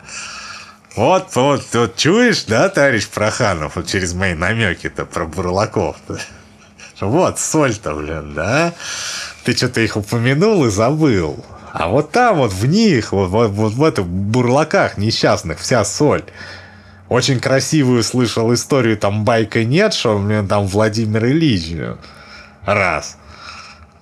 Какая еще? Еще по молодости, не помню, с сестренкой, что ли, там. Вот на утес вышли они и слышали там бурлахи. Тянут, блин, кряхтят, бедолаги. блин, На все окрестности. Ну, да еще Владимир Ильич тогда как раз сказал что-то в том духе, что какой может быть смысл жизни, кроме того, чтобы вот этот вот ход поломать, при котором люди так стонут. И заменить его на ход, при котором люди стонать перестанут и начнут смеяться, блин, для разнообразия. Но Проханов еще продолжает писать, несмотря ни на что. Еще, еще продолжит, Да. я говорю, долго еще. Нижегородская ярмарка, торговавшая хлебом, злаками, с- сырами, медами, Да. а позднее машинами. Эта ярмарка... Машинами? Да, О, а да. А, ну, Ну, там, да, ну, есть может быть. производство. Нет, Свидетельница... ну, производство. Нет, там все сразу очень Он- логично, потому что Ну, когда машины начались, ярмарка Сормов. там закончилась. А, Да, все, ну всё тогда же я, а ярмарка-то при чем? А она свидетельница множества умений, искусств, ремесел, коими обладали и обладают нижегородцы. В других местах такого не было, и в Дамаске где-нибудь, например, там, Может не быть, знаю. Мне все Э, больше и больше кажется, что это рекламная интеграция. Финансирование, да, этой статьи из бюджета Нижнего Новгорода, по всей видимости, пришло. Ладно, это ку- курортная мека теперь будут. Все будут... А, он, наверное, в конце скажет, что питомник со смыслами там, Вот что. А. чтобы туристов привлечь. Так, ну заводы Красного Сормова, производившие корабли, подводные лодки, автомобили. А годы как, войны как было-то танки. хорошо. А что там при Владимире Владимировиче, интересно? Много танков там делают. Ну-ну. Ну, так-то у нас танки сейчас 4 в 5 смен делают на предприятии. Ну, так здорово, ж, понятно. Это ж классно, можно говорить, а как в Великую Отечественную. Если кто-нибудь там за сверхурочными придет, можно ему сказать, что ты чё. Но вот все эти э, заводы, производившие корабли, все это повествует о, священ- о священном труде. Хорошо. Труд саровских атомщиков, денно и ночно создававших советскую атомную бомбу, это пример трудового подвига, спасшего родину в час беды. И Хорошо. сегодня Нижегородская земля дышит заводами, строит корабли, грузовики и могучее оружие. Да? Не знал, корабли прям строят. Хорошо, не все еще загнулось, надо сказать. Меня уж совсем печаль. Еще один сокровенный код – код воскрешения. С Вот, вот это мне самое интересное. Где мне его раздобыть? Вот сейчас нам расскажет. Скажут на, так. на примере Нижнего Новгорода. Способность русского государства воскресать после смерти, после окончательного испепеления, есть таинственный закон русской истории. Таинственный. Мне это не понравилось. То есть опять ни хера не скажут. Опять скажут, воскресаем, а как? Не, вот сейчас он расскажет. Ну, Богу ведомо. Нижний Новгород явил свою воскресительную силу в момент, когда Москва пала после скончания Рюриковичей. Эх, вот бы ему, блин. Когда замутнилось Вот бы ему, небо. бы, как когда Батый-то, блин, явить. Или его тогда еще не построили. Я не помню. Наверное, нет. Наверное, поэтому Батый все получилось. блин. А потом уже все, поляки, Наполеон. Все, Нижний Новгород уже есть. Так. Ну, воскресительную Воскресительная силу сила, когда замутнилось русское небо, поднялся донный ил, и началось Да, вот, он, смутное вот время. он, да, чё, потому котором- что муть была, потому что в другую сторону циферблата. Да, С дегенератами и рыбами, да. и поляк стал хозяином Кремля.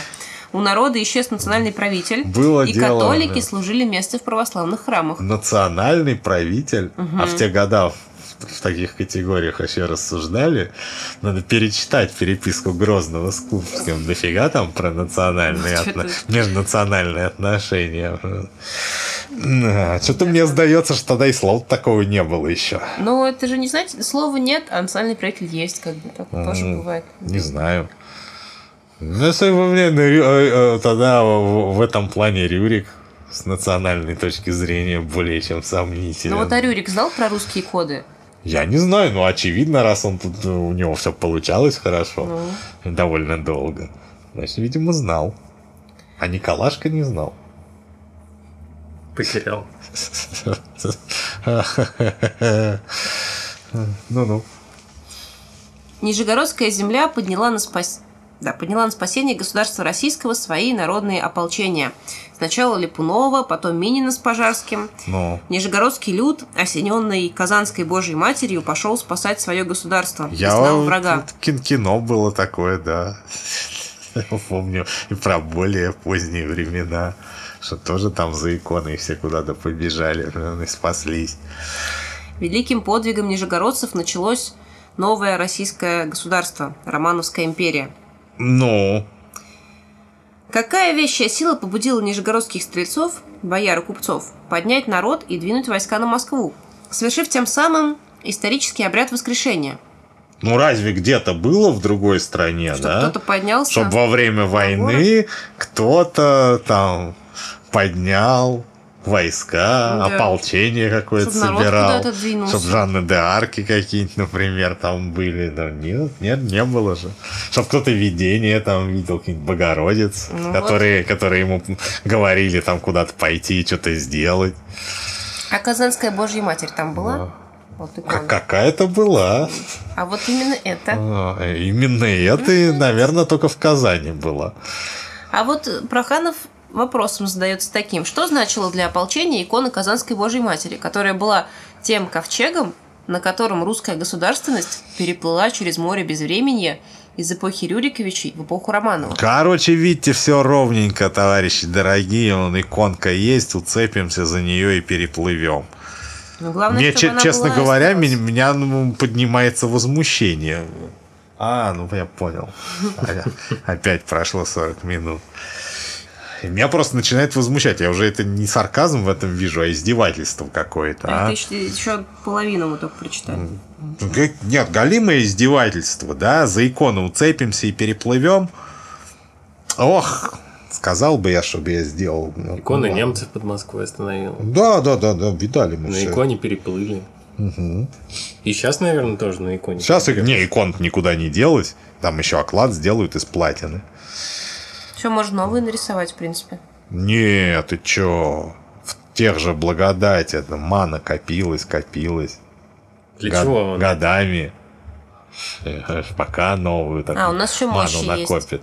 Разные. Много, в большом количестве.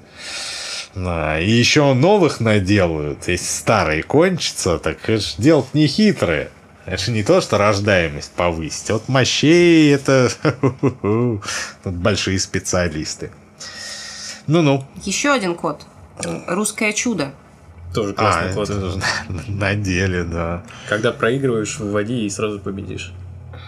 Таинственное волшебное озеро Светлояр, окруженное лесами. В его бездонной глубине таится молекула русского бессмертия. А это как в атаке титанов. Я тоже помню, там в таинственном озере плавала некая сущность. Ну там не молекула, там... там- ну это ладно, не буду говорить. Ну так вот, Скажу в обзоре, в таинственном как это озере, выглядело. и вот ту- туда, короче, укрываясь от врага, ушел град Китиш О, со своими теремами, дворцами, церквами, скрылся от огней и пожаров, чтобы вновь явить себя солнцу, когда схлынет нашествие. А может вам, господа начальнички, переехать туда? Мы даже скинулись. Поправьте там, блин, это все и всплывайте. Вместе, блин. А, Чудо, именуемое град Китиш, случалось в России многократно, когда русский народ укрывал от врага свои святыни, свои плодоносные силы, будь то летописи из горящих монастырей или иконы из разрушенных храмов, или секретные чертежи оружия, А, когда враг да. громил военные заводы и да. лаборатории. А зачем нам вообще военные заводы, если мы на иконе плаваем? Я что-то не пойму. Как же бахнуть? Ну, как бахнуть? блин, Божьей волей ты, знаешь, если Господь захочет, Так. то ты и без бомбы бахнешь.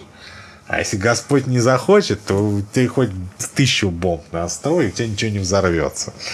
Ну, надо понимать. Ну, надо же как бы Богословие и тоже другое. надо изучать. А? Ну, чтобы бомбы были. Ну, и- конечно, с другой стороны, можно сказать, на Бога надейся и сам не плашай.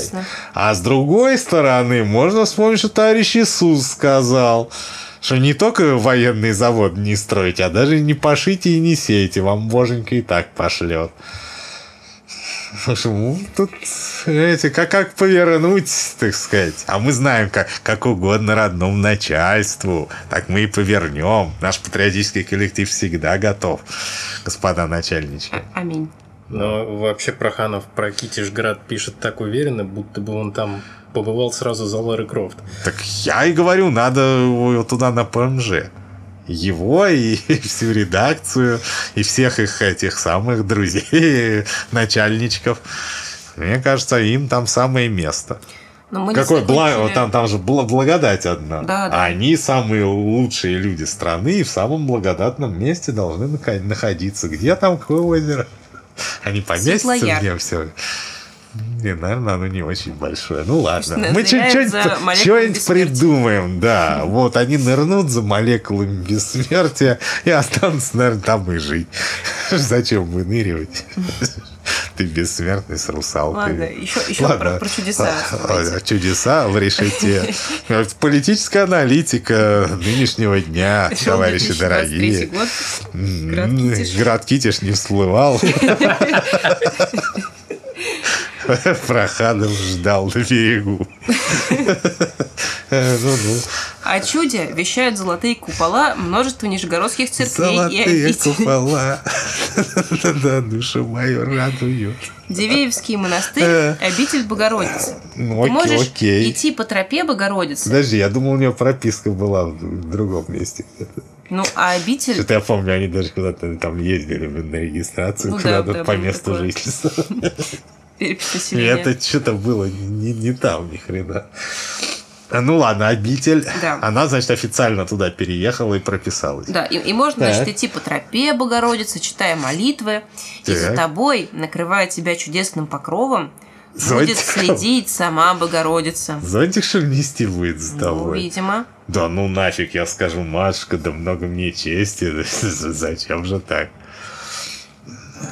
Следовать, значит, будет сама Богородица. Вообще-то и это однажды... жутковато. Ну, да. Лучше туда не соваться, походу. Там дальше еще страшнее. Однажды А это может в другом месте где-то случиться? Я заволновался. Я теперь буду темноты бояться. Блин. Спасибо, товарищ Проханов. Я и так нервный, а теперь ночью встанешь куда-нибудь по, по какой-то надобности на балкон, например, сходить и будешь шарахаться блин, от каждого шороха. Короче, будет следовать Богородица, и Ну. однажды явит себя. И радостно, Ой, ой, не надо. и ты радостно ослепнешь от ее красоты и величия. У меня родилась пара шуток, но Это я боюсь их шутить по нынешним временам. Э, Страх Божий от начала мудрости, как известно. Тропа Ну Богородицы. ладно, я, это звучит как угроза. Товарищ Проханов, ты чем мне угрожаешь, что ли?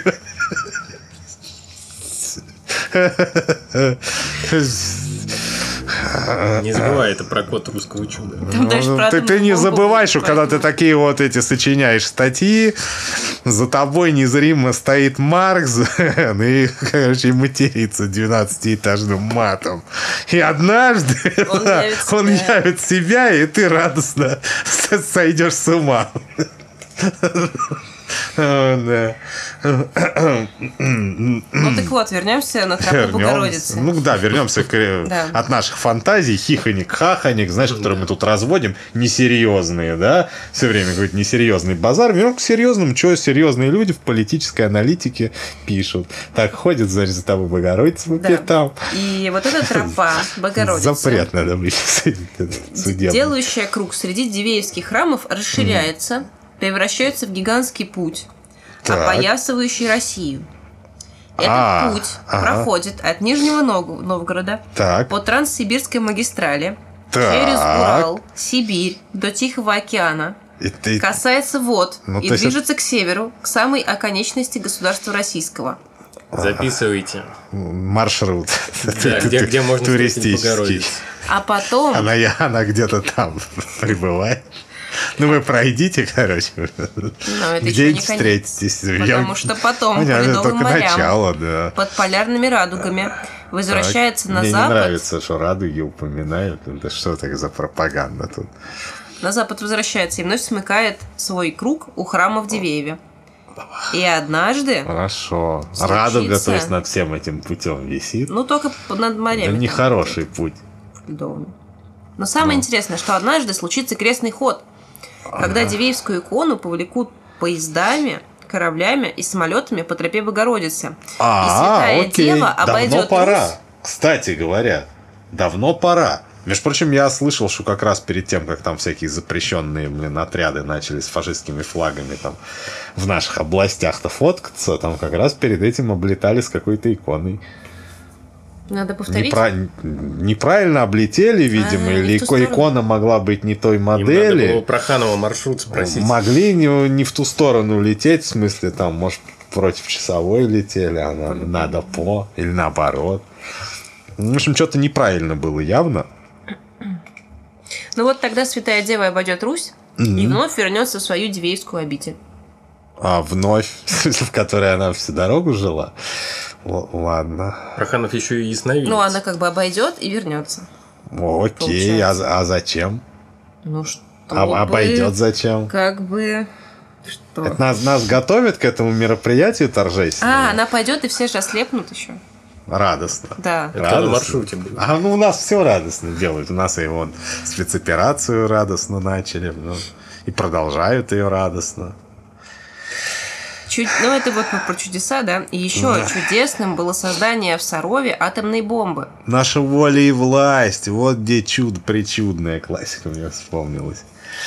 Да, ну, ну. Саровский монастырь был, был чудо. разгромлен большевиками. Монахи, кто Ух, изгнан, кто расстрелян. И в монашеские кельи вселились секретные лаборатории, где сотворялась бомба. То есть чудо. То есть, да. Блин, чё, чё, поди ты сейчас, высели монахов, блин, где-нибудь, скажи, под институт надо, блин. Вот ты узнаешь, какое это чудо было. Чудо, это тебе, блин, нет, воду в вино превращать. Уже гудели на американских аэродромах бомбардировщики Б-29 с грузом ядерных бомб, готовых разбомбить Уже Советский прям. Союз. На Когда- некоторых было написано Проханову. Да, лично. На Э, некоторых, я видал. И вот они были уже готовы разбомбить Советский Союз, когда Курчатов с группой гениальных физиков создал спасительную бомбу. Серафим Саровский Хорошо. А то что бы вы делали, да, господа начальнички? С вашими талантами, я смотрю. Вы действительно, блин, вы бы даже, походу, от Молдавии не отмахались, блин, без ядерной бомбы-то. Ну ладно. Самое важное, что Серафим Саровский предоставил свой чертог для создателей бомбы. Незримо А папа, нет, смотри, а папы, блин, тогда возмущались, до сих пор еще орут. Вот сразу нет, смотри, полезно. Вот этот вот кусочек да. вырежь, пожалуйста, и мне оставь. Я, если что мне скажут, там я буду сразу давать так, это Серафим Саровский. Это вот касаемо этого монастыря Сергий Радонежский. Это Богородица сама отзвонилась, что закрывайте колонии Макаренковской нужнее. Так вот, получается, что Серафим Саровский незримо благословлял работу ученых, и теперь атомная бомба называется православной бомбой. А Серафим Саровский является духовным покровительских... Э, ой, а Серафим Саровский является духовным покровителем саровских физиков. И он, да. православный покровитель ядерной войны. Не, мы от языческих до предков, я смотрю. Действительно, кое-что кое нахватались. Прекрасно, товарищи, не так ли? Не, а самое главное, что я еще раз повторю, и это вы тоже самое можете услышать в телевизоре, в документальных передачах, в политических ток-шоу, где это будут задвигать на полном серьезе. Вы можете в речах первых лиц государства это услышать. Наш верховный антифашист может что-нибудь такое вот сказать в этом духе. Медведка-то он и круче. Собственно, мы его-то разбирали. Он-то уже... Проханов-то старик все-таки. А тут молодой задор, энергия, подсвинки. Он Проханову такую энергию. Ну-ну. А у нас следующий. Еще один сокровенный код. Mm-hmm. Общее дело. Ну, код на сплочение, короче, да. я понял. Код общее дело, и сразу да, все фракции забывают на несколько ходов между усобные терки. Россия – громадная община, состоящая из множества народов, племен, множества вероисповеданий и культур. Так, про, про классы, ну прям смотри, ну, тебе, видимо, религия запрещает, да, говорить? Еще из классов из нескольких она состоит. И можно посмотреть, да, что вот представители одного класса, они как-то вот одинаково живут, какой бы религии национальности они не относились.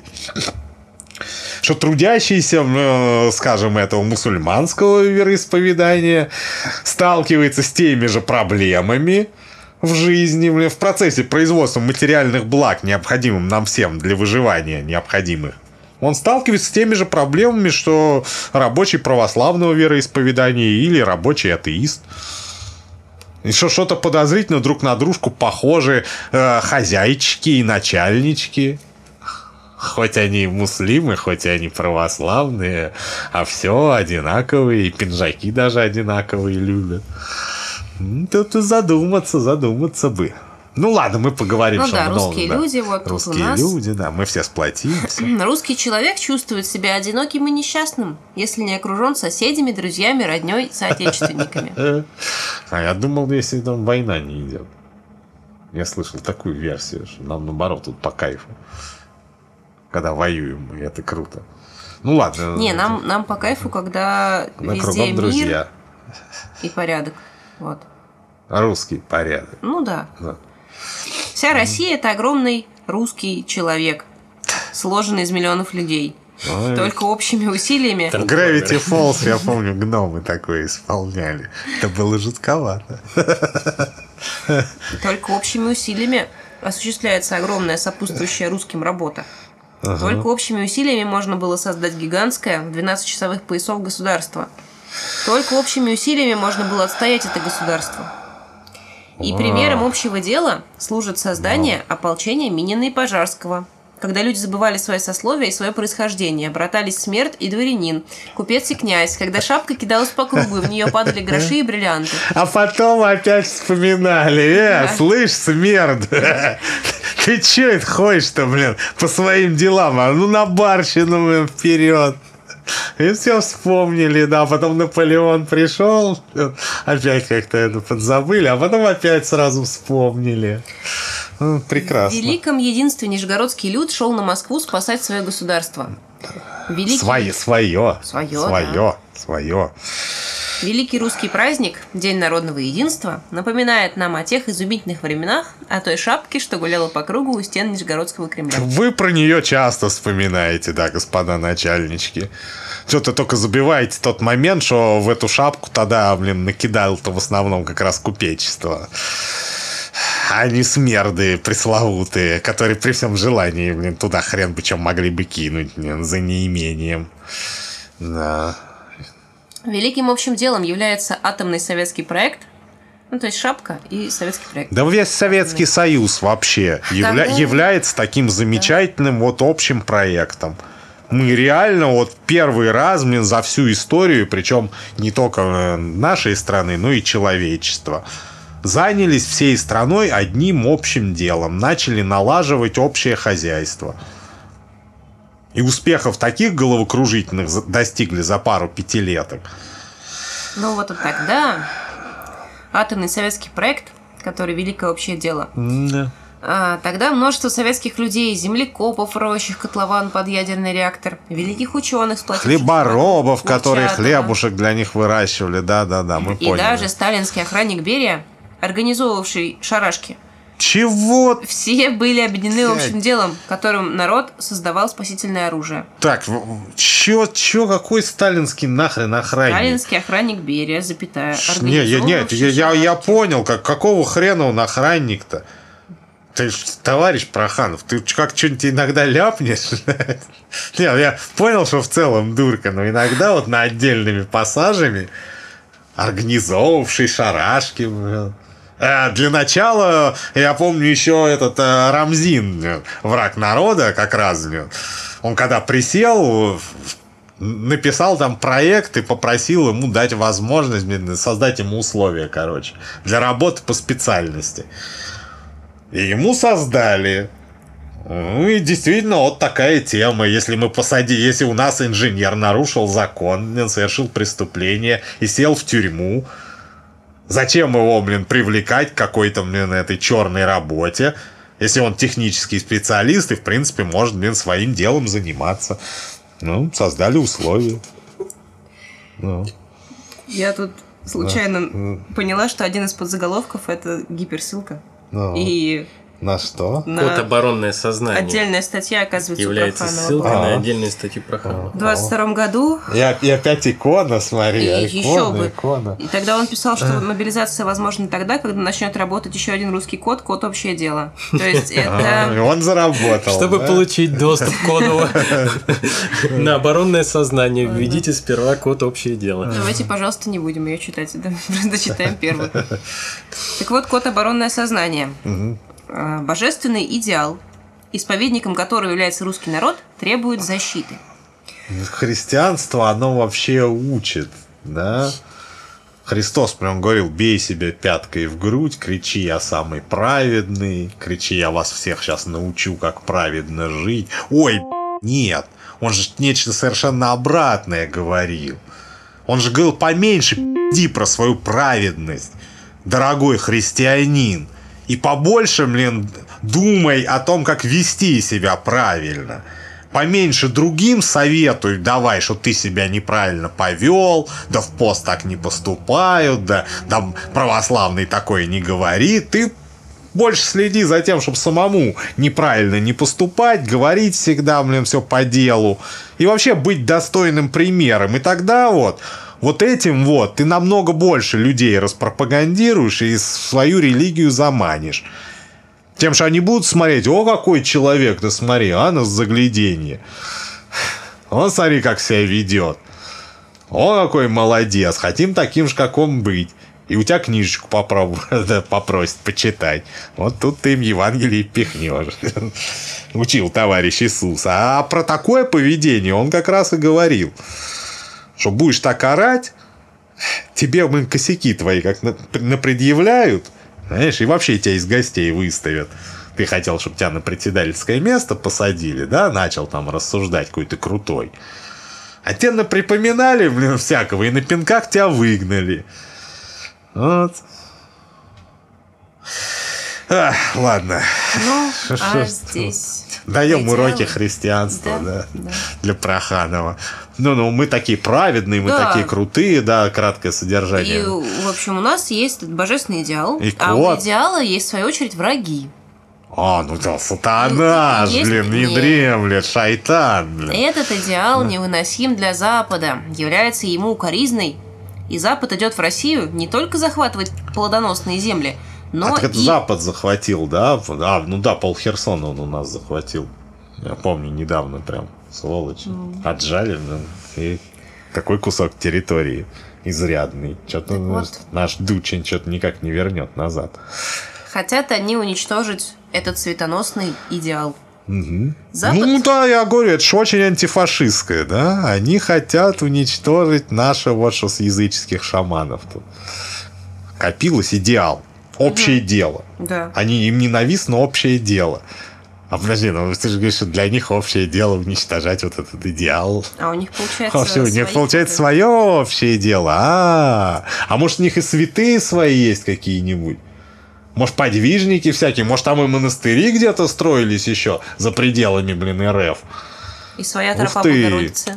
Может, там, да, Богородица, может, где-то там эту водичку лурдскую какую-нибудь там разливают. Какие-нибудь пальцы, блин, этого Иоанна Крестителя там э, дают чмокнуть. Просто у них после кода общее дело активизируется код э, наступательное сознание, а у нас оборонительное сознание.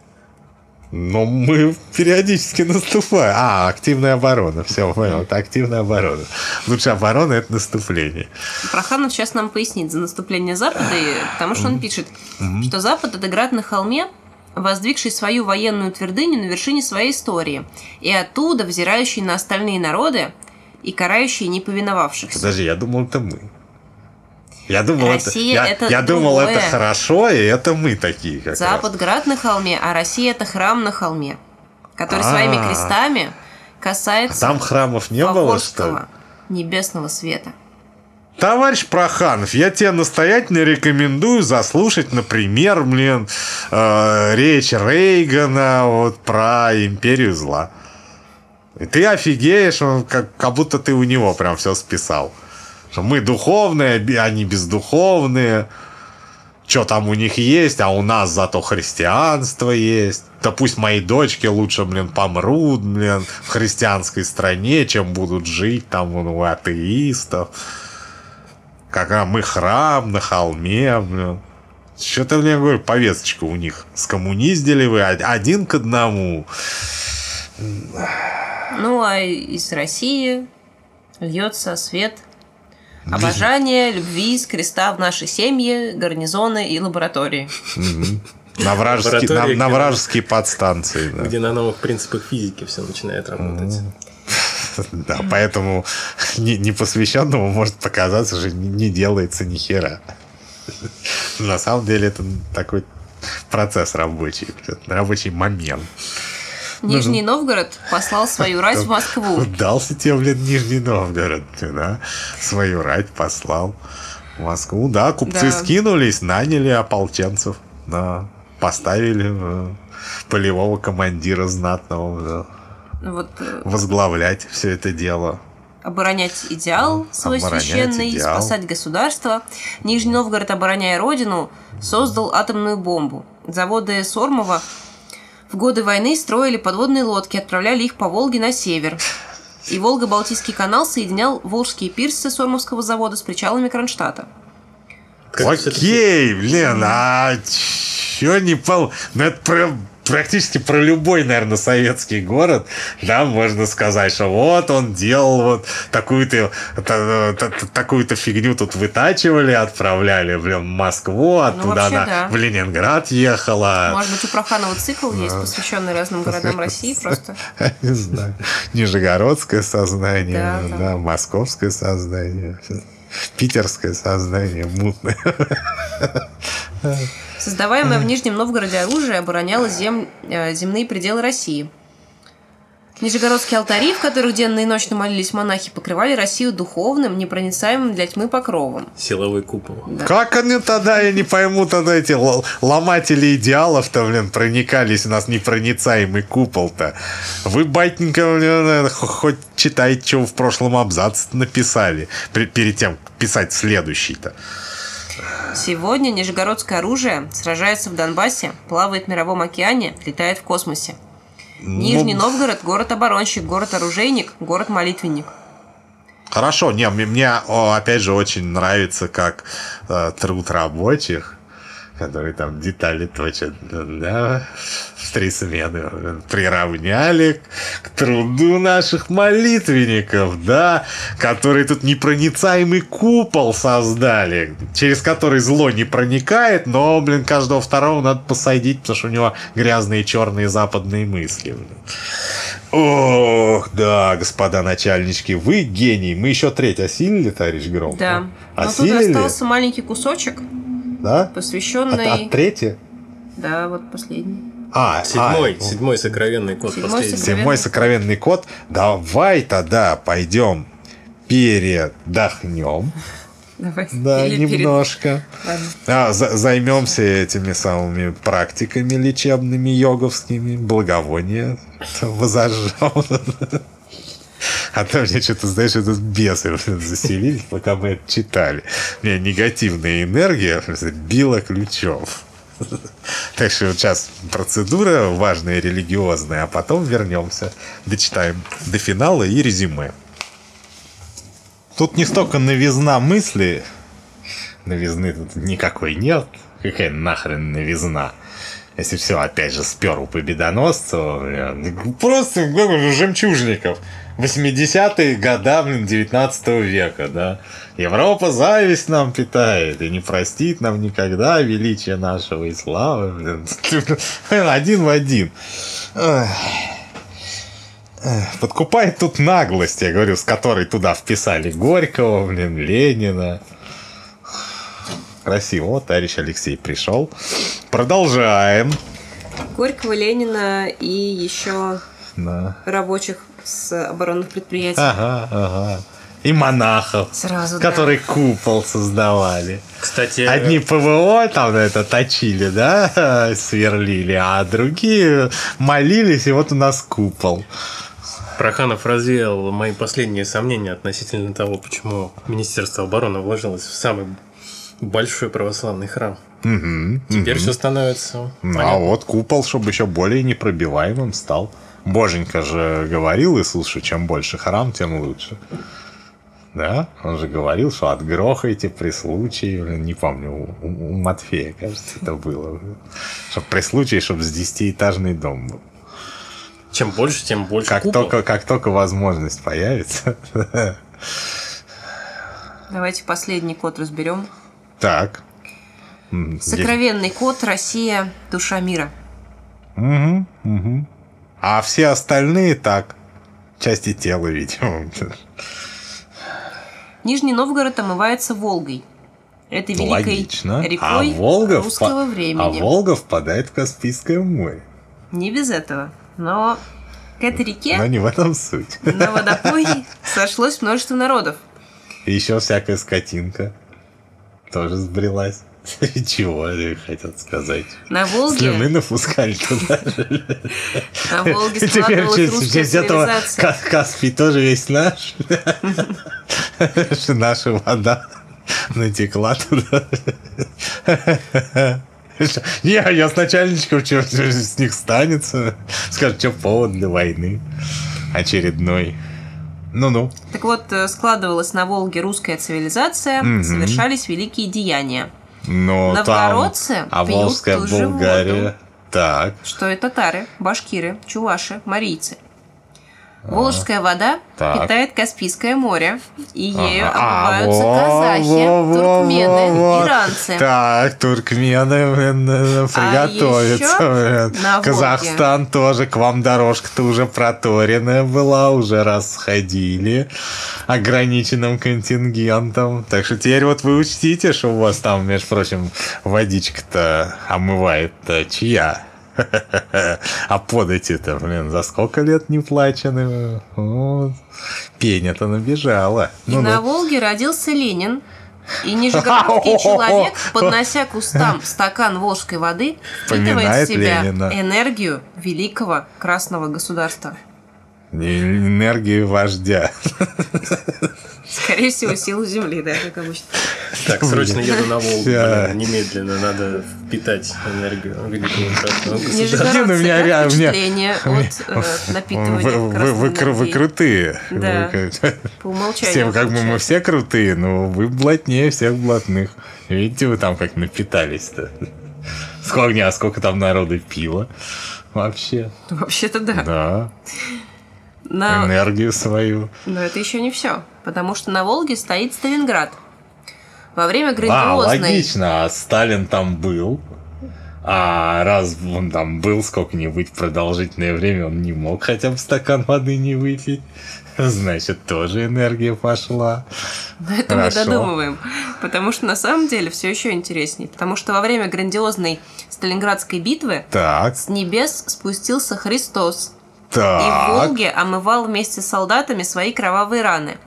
А у него затянулось давно. Еще же 2000 лет назад было. Он же боженька. Что он так и ходит, что ли, с дырками под ребрами. Ну, Ответов шо, у меня нет, к сожалению. Омывал. Ну, Значит, его никто не видал, товарищ Проханов. Что, я думаю, его заметили. Что за пава? Вообще-то, кстати, и, кстати, если мы, между прочим, вспомним Библию, во мне проснулся, блин, это былой, блин, этот знаток Библии. Иисус говорил, что когда второй раз приду, вы не слушайте, что мы говорит, побежали, вон там Иисус. Вы заметите, вот поверьте мне, вы заметите, блин. Да. У вас вопросов никаких не останется. Омывал там рано, а зачем? Блин, лучше бы он там этих наплодил, блин, пайков бы еще. Чтобы все перекусили лишний раз, блин. Но суть не в этом, а в том, что Волга, омывающая Нижний Новгород, это новый русский Иордан. Ну, раз Иисус там помылся, то да. Осталось. Иордан. Э, и ну город, ладно, так хорошо. омываемый Волгой, совершает великое русское омовение. Окей, надо съездить в что ли, искупаться? Походу, да. Я вспоминаю, я в советском детстве. А, был, был. Был в полете, был, так что, да, я искупался там. Я... Тут, наверное, с тех пор и поперло. Я как раз Федот Стрельца потом выучил. да. Видать, благодать не зашла. Волжская. Множество русских, ой, просто гениев, не русских, я уже все. И русских, и не русских. Ну, правильно, видишь. вот. Работает. Всего-то навсего пару часов. Работает. А вы думали. Множество гениев мис... э, Да, русских забыл сказать. да, вот. но- Поэтому вот сбил- сбилось. В общем, гениев много рождалось в Нижегородской земле. Это Мельников, Печерский, Пушкин, член общества Арзамас. Алексей Пешков, Великий Волгарь. Владимир А, Волгарь, Шухов. наверное. Наверное, да, Да. Вол- Волгарь. Да. Э, Владимир Шухов, певец стальных конструкций. Валерий Чкалов, сталинский летун. Предтеча Гагарина. И это Захар Прилепин, герой Донбасской О, ну, войны и прекрасный ну, писатель. Блин, однозначно герой. Нижегородское сознание. блин. Не, ну Горький, Прилепин, Да, как бы, да. Горький Чкалов. вон мать написала, а Прилепин это обитель, как там на Соловках зэки там это, с надзирателями трахались, как кролики. Бешеные. Видишь, Не, не зря Прилепин именно это у себя репостнул. А, да, да, да. точно. Я до этого момента не дочитал. Я еще думаю, блин, Захарушка, что это ты это репостнул, когда у тебя своего такого навалом, блин. А вот оно для чего. Понятно. Нижегородское сознание, Скромный. объяснимое через сокровенные русские коды, и есть нижегородский миф 21 века. Откуда он ну, это я взял? вот этот миф, блин, 21 века, блин, ну точно у Розенберга надо нам тащить, блин, да? Название это, блин, ну точно вот нам надо такие отсылочки постмодерновые делать. Настоящий-то непростой-то момент, блин, борьбы с мировым натовским фашизмом-то. Как, ну, прям зло берет.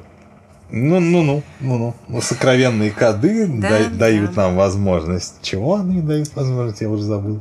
Это чего? Того. Дай-ка- Нижегород... Да дай-ка, нет, там, да- там просто ничего они не дают, это просто нижегородское сознание, Ага. объяснимое через эти русские А, коды, через и коды. есть миф. Да. Понял, и есть миф. А, ну Нижний миф, то есть Новгород. его на самом деле нет. Почему? Да, нет, ну если про что-то говорят, это миф, Так. подразумевают, да, что это выдумка. Нет, это миф. Ну, Что этого на самом деле не было в объективной реальности. Это сказочка. То есть нам только про все прочитанное сказали, что а, э- э- это сказка. Это ты в конце делаешь, блин, товарищ Проханов. класс. Вот это ход. Ну да. для тех, кто, для тех, кто дочитал до этого места, я прикалывался. Ты что это? Сказка, блин, Баба Яга. Ладно, давайте. Леший бродит. Богородица бродит. Ниж- Ну-ну. Нижний Новгород, как и Ну-ну. другие русские земли, хранит в своих глубинах корень великих потрясений. Недалеко от Арзамаса, почти в двух со- соседних селах, А, родился... э, Нет, родились два человека, две грандиозные церковные личности, с кем связана русская драма, церковный раскол. Здесь родились патриарх Никон, реформатор церкви, хотел сказать русской, и про- провозвестник новой церкви, и протокоп Авакум, великий старообрядец-мученик. Их личная И распря... Один замучил другого. Да, да. И, и личная их распря, связанная с внутрицерковной распрей, олицетворяет русскую беду, потрясшую церковь, народ и государство. А. Злые трещины этой беды и по сей день ветвятся в русской истории. Какие-то я не пойму. Один говорит, я сделаю по-своему, другой говорит, по-твоему не катит. Да. Но это Чё- русская беда. Потому Так что это, это у всех беда, блин, ну, товарищи дорогие. Ну, они реально что хотят сказать, что там в Европе тоже Евросоюз, что ли, был всю дорогу? Там не то же самое было. Че вы, блин, делаете что-то уникальное, блин, из того, что было абсолютно у всех? Да все всю дорогу воевали, все всю дорогу, блин, то перемогаются, то, наоборот, всех, блин, одолевают вокруг. Ой, Но это, видимо, тоже миф о некой уникальности. Ну, понятно, не, 21 понятно, понятно, уникальность, блин. У нас уникальность появилась, блин, в 20 веке, товарищи дорогие. Мы первая страна стали, которые, в которой спекулянтов, блин, прижали и ростовщиков выгнали. И еще послали нахер, блин, Англию, Францию, блин, которые вот тогда полмира нагибали. Вот тогда мы были уникальные. У нас, у нас проблемы были, но они уникальные были проблемы, вот реально. Семь сокровенных кодов ведут русский народ к победе. Все эти коды явили себя в нижегородском сознании. А где они хранятся? Код да Все Винчи. в сознании. Сознание Нижегородском. уже, Они явили себя уже, в сознании. уже хранилища нет уже никакого, Да. и питомника тоже нет, и питомцев нет. Это уже все в сознании, и это вообще миф. И все они ведут... Резон ли в этом или не резон, я за чужие не отвечаю. Сон. Как бы подытожил товарищ Проханов. Подобно классику блин, Алексея Константиновича. Ну, ну, Но все они ведут к величию, которому, как и вся Россия, устремлен Нижний Новгород. Место. Нижнего Новгорода в русской цивилизации драгоценно. Вклад Нижнего Новгорода в русскую историю неоценим. Алые цветы на деревянных матрешках Полховского Май- Майдана, ядерная бомба, защищающая своей чудовищной силой божественный идеал русского величия, это нижегородский дар государству российскому. А. Ну, только пользуется им ограниченный круг лиц, правда, да. Со всеми остальными не советуюсь, но это тоже код. Русский код. Да, мне... Что, все, да, Всё, товарищ, конец. да, подытожим. Но Все сие живо напоминает мне Россиюшку, Российскую империю, я имею в виду, конца 19-го, начала 20 века. Ту самую, которую мы потеряли и вновь... И вновь нашли. Я могу А- Оттуда добавить. списана большая часть этих тезисов. И- и- иногда прям дерут целыми предложениями. Добавь теперь ты, товарищ Громова. На сайте газеты «Завтра» есть поиск по тегам. И ткнула я на тег «Русские коды». Вы знаете, Так. целая подборка О, статей, посвященных этим самым русским кодам. мгм. Часть из них авторства Проханова. А часть Прилепин что-нибудь есть? Нет, ну вот, допустим, Прилепин, ну срочно напиши про какой-нибудь код. Я почитатель русскости. твоего таланта. Вот, про код обретение на русскости обретение пишет Евгений русскости. Павлов, еще всякие представители из Борского клуба. Мгм. Так что это тренд, Мгм. прям развивающийся. Ладно, мы хотим оставаться в тренде, так что наш коллектив обязуется вникнуть в эту тему с кодами. И непременно, блин, сделаем с он с товарищем Алексеем блин, пару передач. Товарищ Громов делая всякие знаки лицом, выражая неудовольствие. Так что, так что ладно.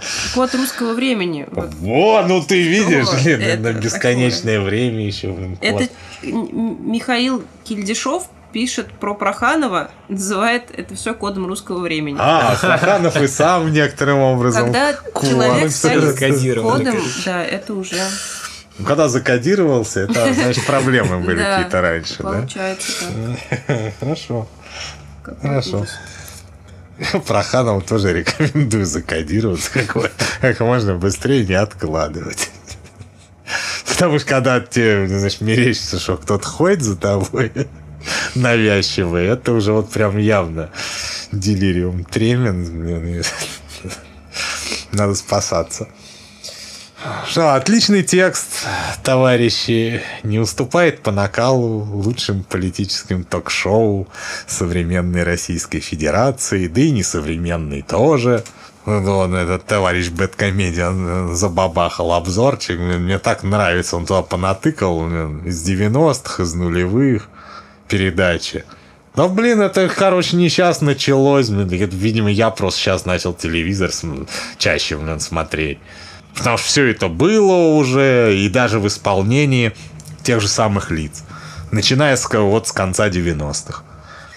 Просто еще сейчас из каждого утюга об этом говорят.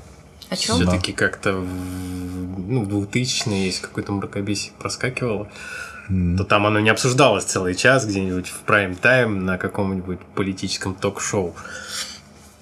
Да нет, я же говорю, вон там, блин, прям цитаты были. И Соловьев, и этот Киселев, да и вы- Верховный наш антифашист тоже был процитированный, тоже он примерно в том же духе говорил. И Патриарх.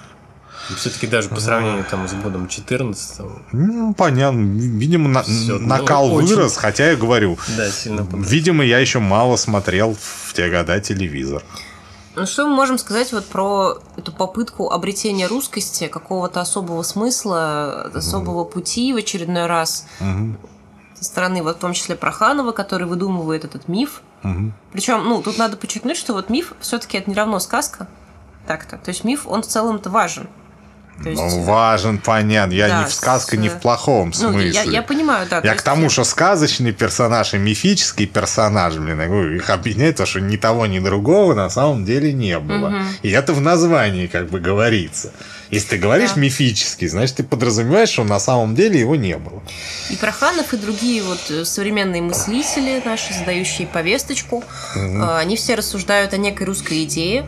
И сегодня мы можем наблюдать проявление этой русской идеи в обществе, когда рядовые граждане, с одной стороны, поддерживают происходящее волшебство, э, Ну, маху. Ну, Знаешь, как, когда, как? когда, когда за неподдержку, то, блин, санкция. Во-первых, да. А во-вторых, Да. ну, а если, ну, известная история, что если как бы не, не мы их, значит, они нас. То есть на этом и все держится. Но при этом, Ну. а, когда как бы волшебники призывают э, присоединиться к волшебству и нет И возможности отказаться, вместе, да, в этот момент э, как-то по- поддержки меньше находится среди граждан. То есть ехать э, Ну, оно туда колдовать не сильно хочется. Не Вот, знаю, не, не- са- самое, ответе- самое, понимаешь, печальное, же говорю, извини, пожалуйста, что, блин, некоторым и хочется. Да. Некоторые, блин, говорят, еще, Некоторым блин, это самое, ездил и еще поеду. Понимаешь?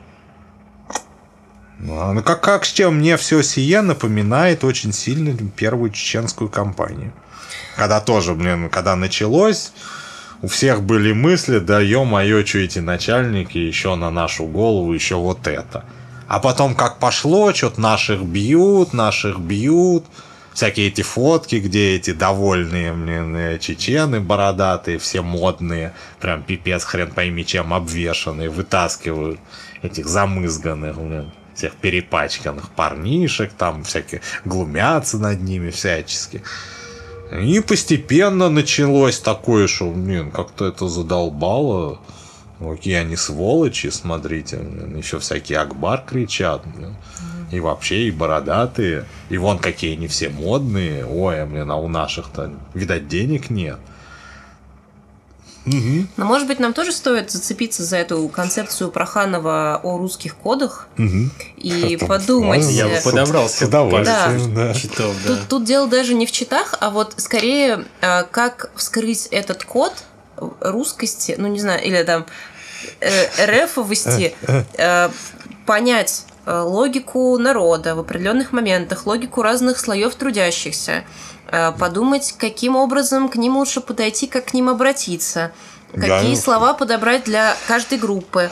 Э, как выйти, собственно, к этому ну, народу? Ну, это... Как завести с ними какие-то связи горизонтальные? Ну, это самые? перечень, собственно, наших обычных текущих вот. задач. То есть это и есть как бы распрограммирование, ну, такое а. изучение кода внутреннего. Ну, да. Нет, да, так-то что особо изучать, все понятно. Ну, все чё, понятно. Что но... в, в телевизоре говорят, то и повторяют слово в слово. Понимаешь? Даже особо слов, своими словами никто не говорит из патриотической общественности. Все припоминают, мол, пара сайтов патриотических и в основном телевизор. Не, благо, опять же, говорю, у нас волшебная операция, она настолько волшебная, что э, у нас не как в прошлых войнах, известных в истории человечества, где каждая воюющая страна, какими бы они зверями фашистами не были, они старались выглядеть прилично и зверство на показ не выставлять, и наоборот выставлять, какие мы... Ну, пос посмотрите, говорю, э, немецкие эти Вохеншау времен войны. Да просто ждушки. Разве там чего-то было такое, что мы там, блин, там все сожгли, там всех убили? Нет, ничего подобного. Мы идем, улыбаемся. Нам навстречу там в всяких вышиванках и в косоворотках, блин, люди вот крестят нас. Вот батюшка, вот нам спасибо, что церковь открыли. Вот мы с ними хоровод водим, вот мы с ними у костра там посидели, То есть пообщались. работали на какой-то положительный... Пленные вот опять же, что, мы их мучаем, что ли? Как вот это я, я говорю, додуматься. Писать там, что мы пленных не берем, или вообще снимать видео, как ты им в ноги стреляешь. Это ж в первое, в первое, помимо того, что это, блин, зверство и фашизм, и что тем, кто такой, таким занимается, блин, я не знаю, экстремизм говорить, что с ними надо сделать или ну, нет. Лучше... Или про них, ну, лучше, короче, да. ни про кого не будем, сделать с ними нехорошие всякие вещи, блин. Да. Но поэтому ты же, если ты не полный имбецил, ты должен понимать, как ты погано будешь выглядеть. Это ладно, я понимаю, еще какой-нибудь больной для личной коллекции, типа, снимал, а потом это кто-то, ну, как в этом, в саратовском тубанаре получилось, блин. Когда там а, просто этот архив копился, копился, и кто-то, блин, взял, выложил. С целью навредить авторам архива. А тут нет. Снимают сами ж выкладывают, хвастаются. Какой я молодец работает как вражеский политрук. Знаешь, регулярно друг про дружку всякие заявления делают. Как будто специально, блин, вот прям для тамошнего населения. Чтоб тамошние начальнички у себя в телевизоре показали. А мы на Польшу сейчас нападем, вот Вагнер уже готовим. А мы вообще вот тут нарисовали карту, как мы, блин, Россию будем делить. Прям это как, как специально, что ли? Опять же, вспомним того же австрийского художника и его пропаганду. Ну, за исключением первых времен, когда они были очень наглые, самодовольные. И вообще, что с вами говорить, вы наша новая колония. А потом-то они как переключились, блин, тоже с этого, очень быстро. На то, что нет, мы спасители, освободители, мол. Ну и вот вопрос.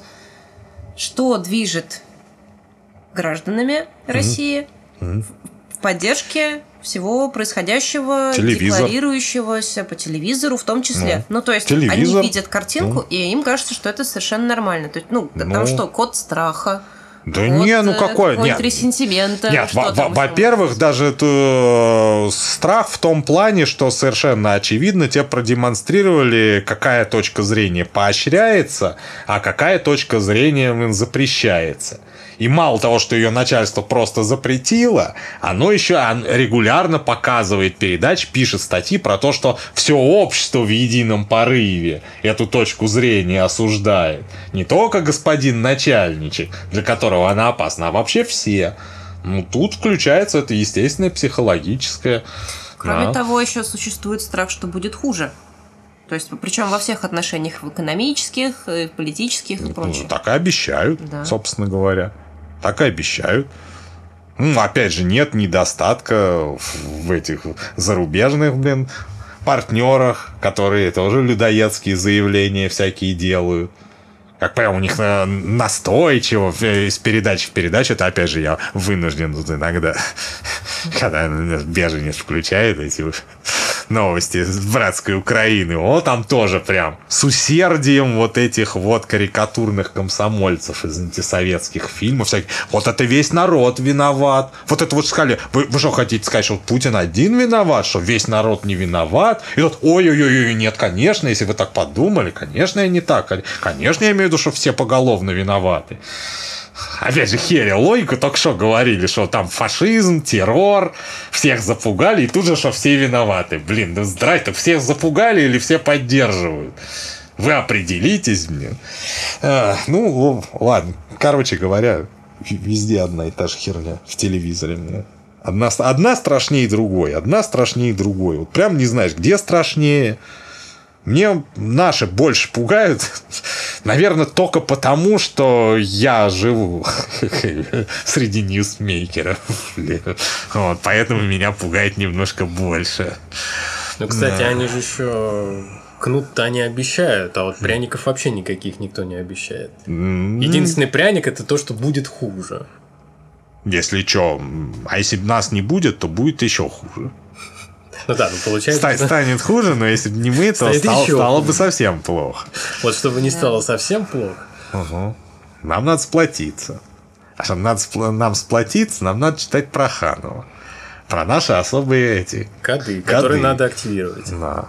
Надо их активировать. Больше русскости. Больше Горького с Достоевским. В один флакон. Как удобно. Больше взыскания. О, Больше взысканий хороших и разных. А там уже ну, эти пристават хвастались, что они сколько там собрали-то миллиардов-то, там какие-то, блин, сотни страшные. Я даже со страху аж забыл цифру. И еще соберут, потому что закредитованность растет. Да. Ну, а нам остается вскрывать русские коды среди сограждан, искать ключи. Я- я- нет, если подумать, опять же, мне сейчас на ум пришел просто какой-то любой плохой американский какой-нибудь фильм про войну. На этот пропагандистский, патриотический. Там же слов в слово. Вот мы там на холме, у нас, мы, мы превосходим всех. Хорошем-то фильме, там, я говорю, там какой-то персонаж скажет, слышь, я, я, я бомж безработный, кого я там превосхожу? бля?» Как бы, ну, во взводе. Например. А, а в плохом на полном серьезе, который с Мелом Гибсоном задвигать, какие у нас при... и у нас такие преимущества, и нас, наш образ жизни. Мы не только у себя, мы еще везде должны его распространить. Мы несем особо. Да, мы, мы для всего человечества, да, несем особый путь, да. Не, что, что характерно и очень интересно. В истории Америки ж был период такой, когда действительно, блин, самая свободная страна в мире была. Но он быстро прошел. Не, естественно, тамошняя буржуазия, блин, когда у них объективно такие условия сложились, она не замедлила в пропаганде этим воспользоваться и всячески начать прославлять образ жизни. А потом-то у них пришло в соответствие, что, ну, вернее, остальные до этого уровня подтянулись. Там было как бы херово, и угнетение было, и эксплуатация бешеная. Но просто везде было еще хуже. Везде еще бо- больше гнобления было, чем там.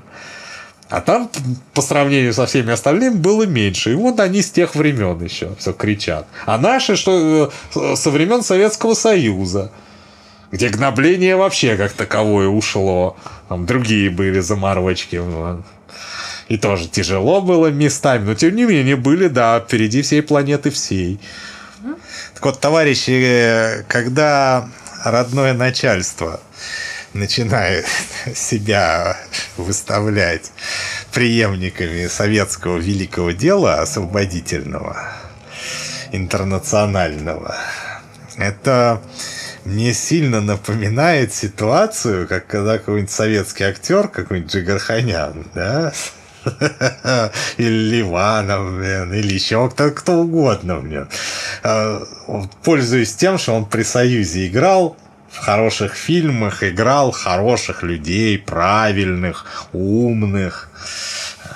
вот они, пользуясь этим, начинают рекламировать какие-нибудь макароны, блин. Или на аптеку свою физиономию вешают. Силиконевые браслеты. Да, или браслеты, да, какие-нибудь. Вот, вот типа того. Выглядит это жалко, неубедительно. А для людей, которые реально э, знают и ценят советское наследие, это прямо оскорбительно выглядит. Я не, не шутил даже про эту аналогию блин, с Розой и Слизняком. Мне прям вот эта хрень не представляется каждый раз, когда я такое слушаю. Оставьте хоть горько, вот начальнички дорогие, в покое. Ленин хоть не трожьте, блин, а? Я чувствую, когда у нас по заветам товарища Мединского у нас э, из мавзолея такие Ильича будут выносить, у нас Проханов э, напишет тоже статью, как это хорошо и правильно. Ну, что, что, что тудым дым, но да, по православным да. обычаям. Вот. дело. Ленин по этой земле, землице ходил, энергия там, там сплелась. Вода текла. Да, вода текла. Червяки ползали. ну, в общем. Богородица ходила. Да, надо им Всех объединиться. Ослепляя. А в мавзолей Богородицы не ходила. Ну, да. Наверное. Туда попасть нее... тяжеловато, там часы работы ограничены. Да, и у нее клаустрофобия. Тем более. А, товарищи дорогие, э, наше начальство, оно вообще дошло до такого уровня, что, по идее, можно уже просто читать новости и, и, ничего не говорить, даже не комментировать, а так угорать с каждого предложения вместе с вами. И то ли еще будет.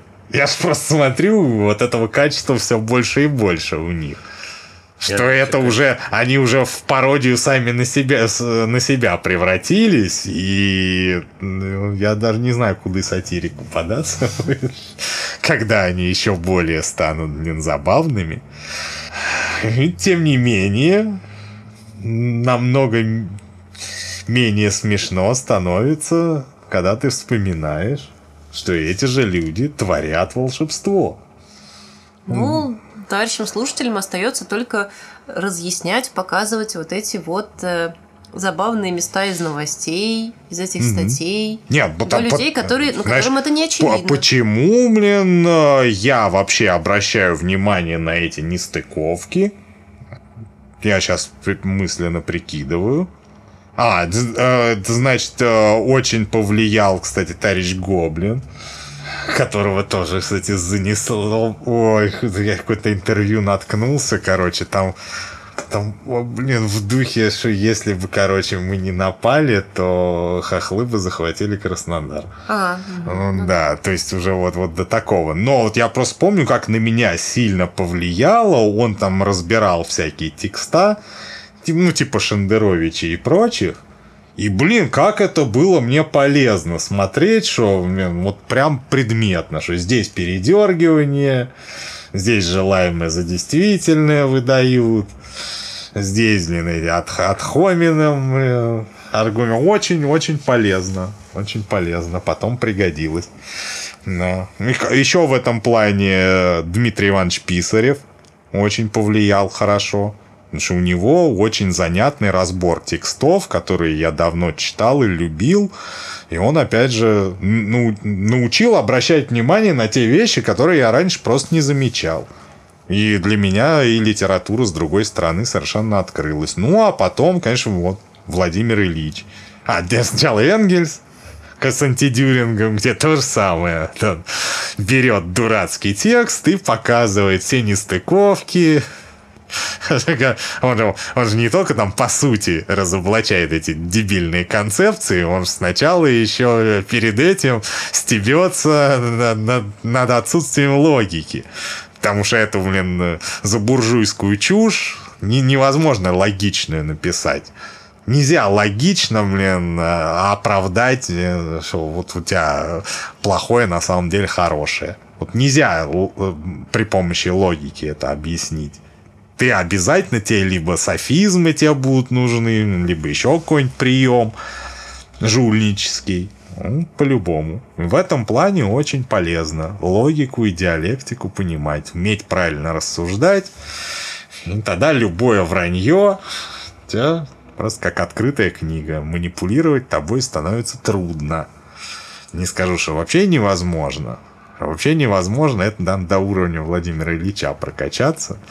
Да, у тебя полная неуязвимость. Все читкоды вместе. От зачаровывания. Да, буржуазной пропагандой. Ты, про, ну, ты про Ханова читать все равно, что, не знаю, грибов наестся. Ну, типа, типа того.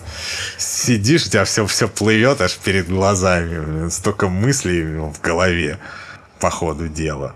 Че, резюмируем, да, кратко. Это в большой советской энциклопедии сталинских лучше всего времен найдите статью про сменовеховство, товарищи дорогие. Почитайте саму статью и потом выборочно погуглите статейки, вот кого там будут называть, фамилии. Вот, почитайте. Поймете, откуда все это стянуто. Откуда вообще эта повадка изображать большевиков националистами? Кто это придумал? С какой целью он это придумал? Ну и так далее. Очень познавательное будет чтиво. Но можно, кстати, будет сделать как-нибудь обзорчик по ним. Приколоться, между прочим. Какого-нибудь взять Сминовеховца, Да, не, не, не говорить, что он не говорить, что он сменовеховец, да, сказать, вот автор, там, типа, современный, и прочитать. И потом сказать, что угадайте, что прилепер. Дугин, Проханов. Ну, мы уже рассказали а весь нет, прикол. А нет, нифига. А, ничего страшного, забудут, забудут. Э, через э, месячишко другой на родное начальство позаботиться. Так что все забудут, и тогда мы этот прикол провернем. Я думаю, это актуально будет еще долго. Ой в украинских там новостях проскочило, что у, у них там это уже тамошний верховный фюрер э, всего бандер фашизма пан Зельцер, блин, мол, распоряжение блин, приготовил, чтобы кто 16 лет кому исполнилось, их из страны уже не выпускать. Угу. Да. А как бы, если призывной с 18, а не выпускать с 16, Очевидно, это все готовит к тому, что еще два года будет продолжаться волшебство. Ну, в принципе, насколько это выгодно волшебникам, мы в новостях не раз разбирали, да, показывали наглядно. Для них это просто клондайк, блин. Джекпот бесконечный, блин, на 10 автоматах сразу, блин, только вот деньги летят. Еле успевай закрываться. Они уже как тот Раджа чем золотой антилопе. Лежат уже по брови в этих золотых, и только еще булькают все-таки оттуда, что давай еще, вали еще. Да. Ну что, господа буржуи, смотрите, не объешьтесь. Что вам можно сказать? А вам, товарищи пролетарии, что побольше читайте он Проханова, например. Вот зацените. Нет, ну, можно посоветовать с тем же успехом смотреть Соловьева уже. Не отличается вообще ничем. Да, это Проханов уже бывало у Соловьева. Ну, я, я не удивлен. да. Как, конечно, как ему с такими-то идеями блестящими, да там не быть.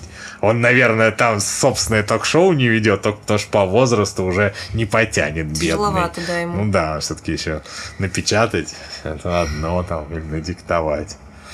А самому ходить там, перекрикиваться. Кто там аналог Жириновского теперешний? Они все стали как Жириновский. Так что смотрите, товарищи, смотрите буржуазную пропаганду современную, проникайтесь. Но вот разбирайте ее, если вы пробавились наукой, то разбирайте ее с точки зрения науки. И вот думайте, как это вообще с точки зрения науки, как можно такие рассуждения назвать? Насколько они вам близки? Нет, впечатление такое, ну, на самом деле, что ро- родное начальство реально считает, что тут уже сколько-нибудь значительного количества э, лю- людей с научным мировоззрением не осталось. Что тут практически все ударились в, в какую-нибудь религию. А без шуток. Это Потому тоже что- сыграл определенный код, по всей видимости, который необходимо взломать. За счет. Я помню, в как раз- цивилизации это специальные здания строишь, и у тебя веры количество Во-во-во-во. увеличивается.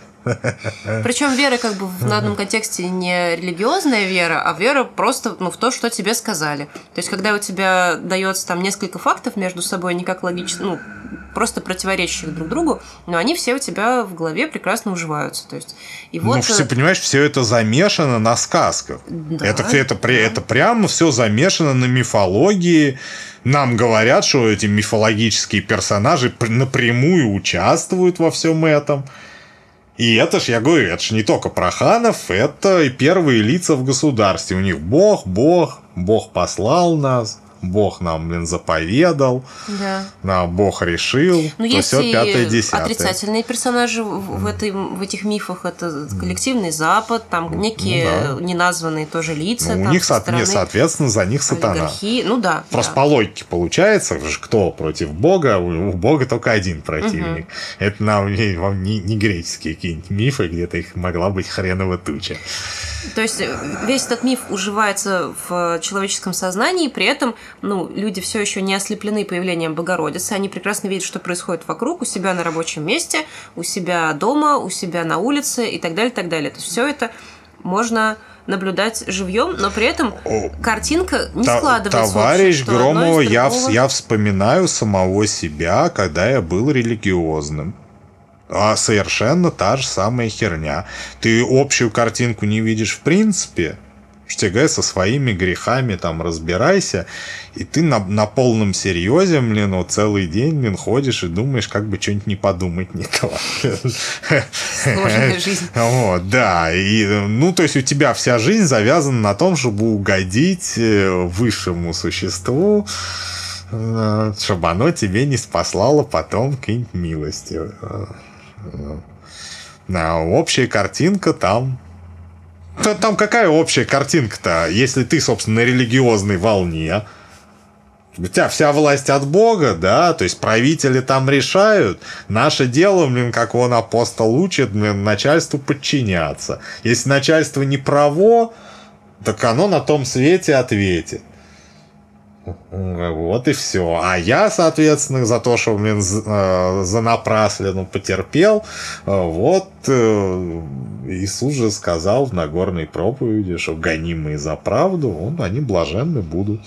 То есть я буду блаженствовать в раю, буду там с Авраамом на топчанчике под пальмами холодную минералочку попивать, а начальник, который меня гнобил, вот он там будет в аду ползать, блин, там ковыряться, просить, что капельку капну оттуда мне с неба. Но, видимо, помимо веры в, там, допустим, каких-то богов конкретных, существует же еще, по всей видимости, некая вера в режим действующий. Мне не становится слово режим какой-то навальнизмом каким-то. Между прочим, попахивает. Сталин Ну, общаясь на- использовал а, слово Нет, режим понятно, у я- себя в по- по- работах. понятно, понятно. Я имею... себе режим, Да он- Нет, режим. нет, ладно, ладно, я ничего, ничего, товарищ Гром, я про свои впечатления. Я же не тоже запрет тебе ставлю, у нас же демократия, свобода слова. Ура. В, в отличие от некоторых других общностей, блин, где ты не скажи ничего криво, блин, у нас можно сказать, и прикинь, никто по голове бить не будет тебя. Могут тебя возразить культурно.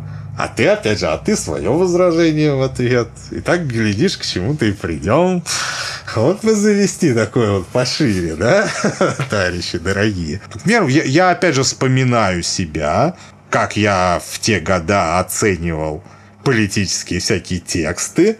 Ты, я просто помню, а где больше про боженьку есть, тот, значит, и правильный. Где говорят, что надо по-божески, вот Иисус как сказал. То есть прям вот на ключевые слова. Я помню, кстати говоря, что когда я от этого отходил, долгое время у меня и по нашей марксистско-ленинской теме такое же прям сохранялось, что текст оцениваю по ключевым словам, только ключевые слова поменялись. Теперь надо, чтобы там была ре- революция, пролетариат, коммунизм, как бы все, ключевые слова есть, зашибись. Я помню, как я читал две тактики социал-демократии. Владимира Ильича.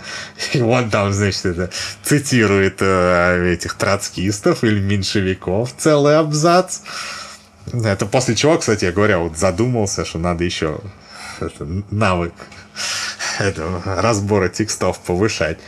Что я читаю, ну, Ленин еще разоблачать не начал, я просто читаю, блин, это, троцкистов и меньшевиков. И, блин, а все ключевые слова на месте. Как, вот он, что пролетариат, еще революция, еще коммунизм. И я прям вот, а что не так-то?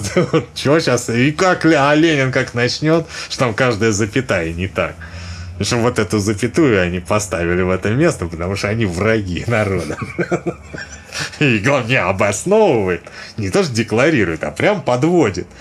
Чтобы каждый, и, и главное, мало того, что под, о- он подводит, что текст вражеский, и тут же это он говорит к вопросу о том, что, что ты с ними все время срешься.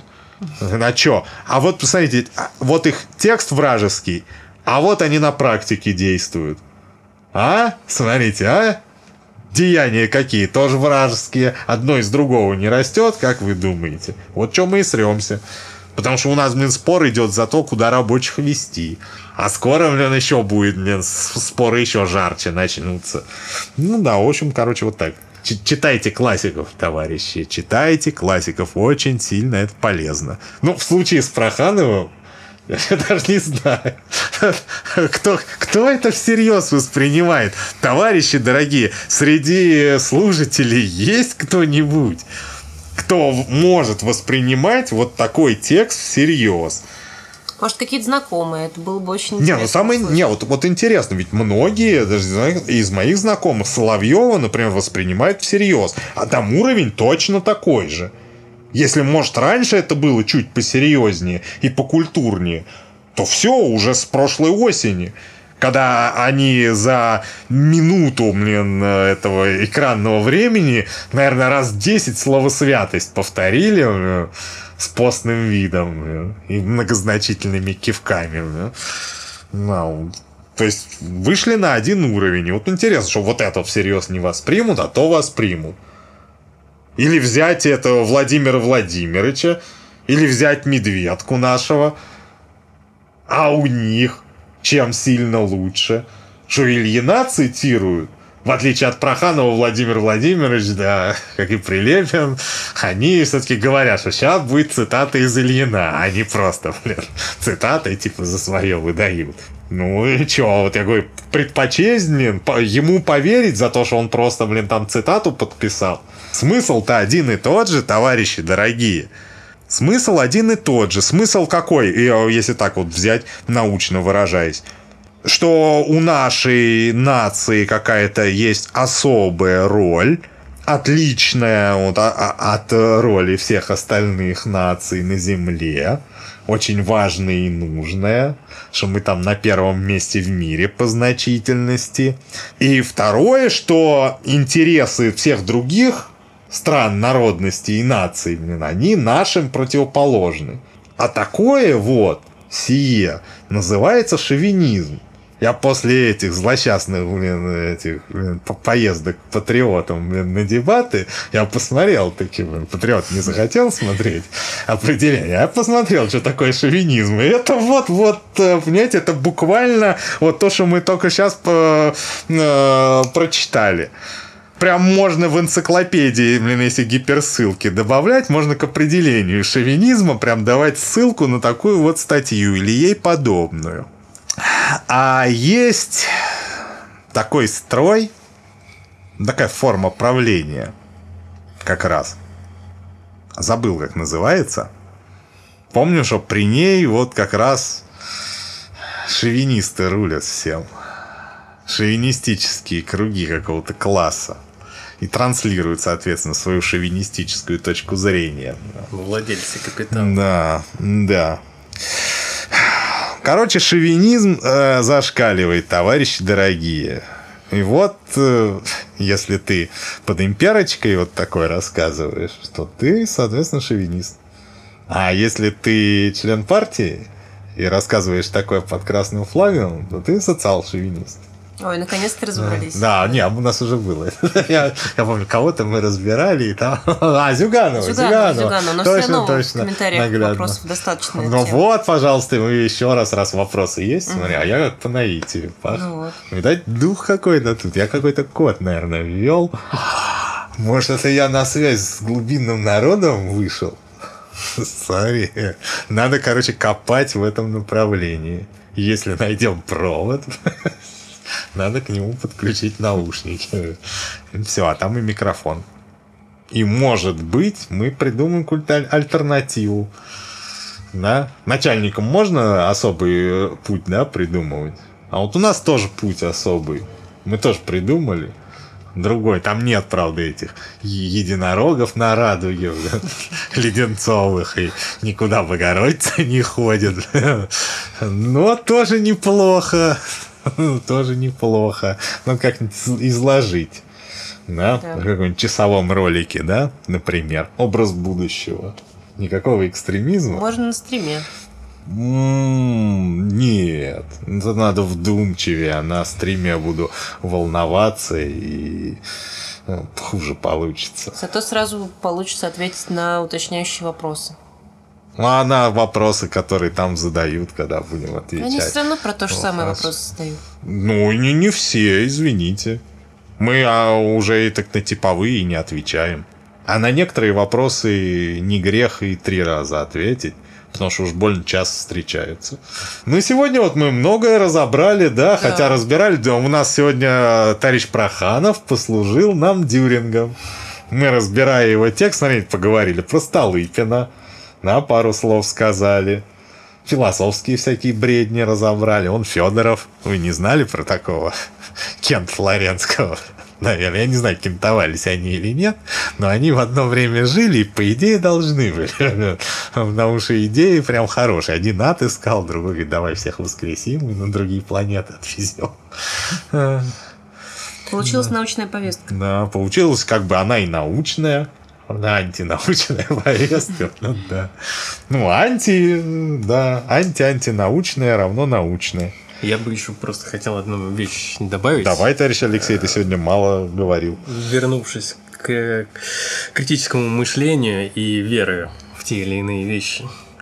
А, У нас скоро будет разбор как раз, посвященный 60-м годам. И там вот все, что товарищ Рэми говорил. Там очень много красных э, таких красивых фраз, типа революция, пролетариат и так далее, и так далее. И наше общество на эти фразы повелось. Потому что в массе своей, к сожалению, Партия повелась, самое главное. Потому что, ну, ну, так самый авангард получается. Нас, а на, там уже и на, остальные, на разумеется. съезде ж, блин, они не все сидели купленные-то. Не, а были, большая часть, бы- да. были отдельные люди. а большая часть именно а вот как, часть как товарищ Алексей, да, и сказал. И отечество свое Вроде про, ком- про коммунизм же говорили, да, ска- сказали в конце вперед коммуни- за коммунизм, да, ну все, значит, хлопаем. Но в концовке получилось то, что получилось Да. из этого. Поэтому читайте, товарищи, учитесь критически мыслить. И нас тоже критикуйте, если есть за что. Ну, конструктивно, пожалуйста. А то мне как товарищ Алексей за- зачитывает ругательные комментарии. Там все время... э, Ну, Это эмоции. Я не знаю, да, какие-то вверх. какие эмоции, причем даже не очень понятно, что их вызвало конкретно такие негативные. Или всякое там неконструктивное, типа, где партия. О, сейчас и тебе еще напишут. А где партия? Вот что ты болтаешь, болтаешь, а партия-то где? Не знаю, под шкафом посмотри, может, там завалялось. Ну что, на этой позитивной ноте, товарищи дорогие, да? Ну, и решивши все-таки нашу запишем про образ будущего. У нас были про образ будущего, ну, мы напишем про наш образ. Идеальный. Да, Царствие небесное на земле. да. Только да, только оно земное будет. Ну, Такое, да, что не будет хотеться. блин, Небесное. В другое царствие небесное уже не захочется. Как говорил Василий Иванович, такая жизнь настанет, Федька, помирать не надо. Да. Ну, на этой позитивной ноте, да, Да. наверное. Будем прощаться потихонечку с вами, дорогие товарищи. Читайте классиков. Выходите Потом из дома, общайтесь с людьми, не замыкайтесь в себе, дышите свежим воздухом. Единомышленников ищите. прикупите гирькуся. Хороший инструмент. Да. А, читайте классиков, а потом читайте Проханова. Очень полезно в такой последовательности. Потом опять классиков, потом Прилепина. Берегите психическое здоровье и глаза. А при этом, Да. при всем, да, постарайтесь психическое здоровье. Старайтесь не ходить по маршруту утратить. Богородицы. Да, не, не путайтесь, короче, под ногами. Ну, Богородицы, другого начальства. А вы- оно идет и идет, а вы идите в стороночке по своим делам. А, На, это, ну, на этом уж Ну, уже точно, да, да, всё. точно. На этой позитивной ноте уж точно стоп, товарищи дорогие. Всё, До новых встреч. Всего Всем. вам доброго. Всем пока. До свидания, товарищи. Еще раз скажи всем пока, товарищ Всем пока. На этом будем заканчивать. Раз твой мелодичный голос всем нравится.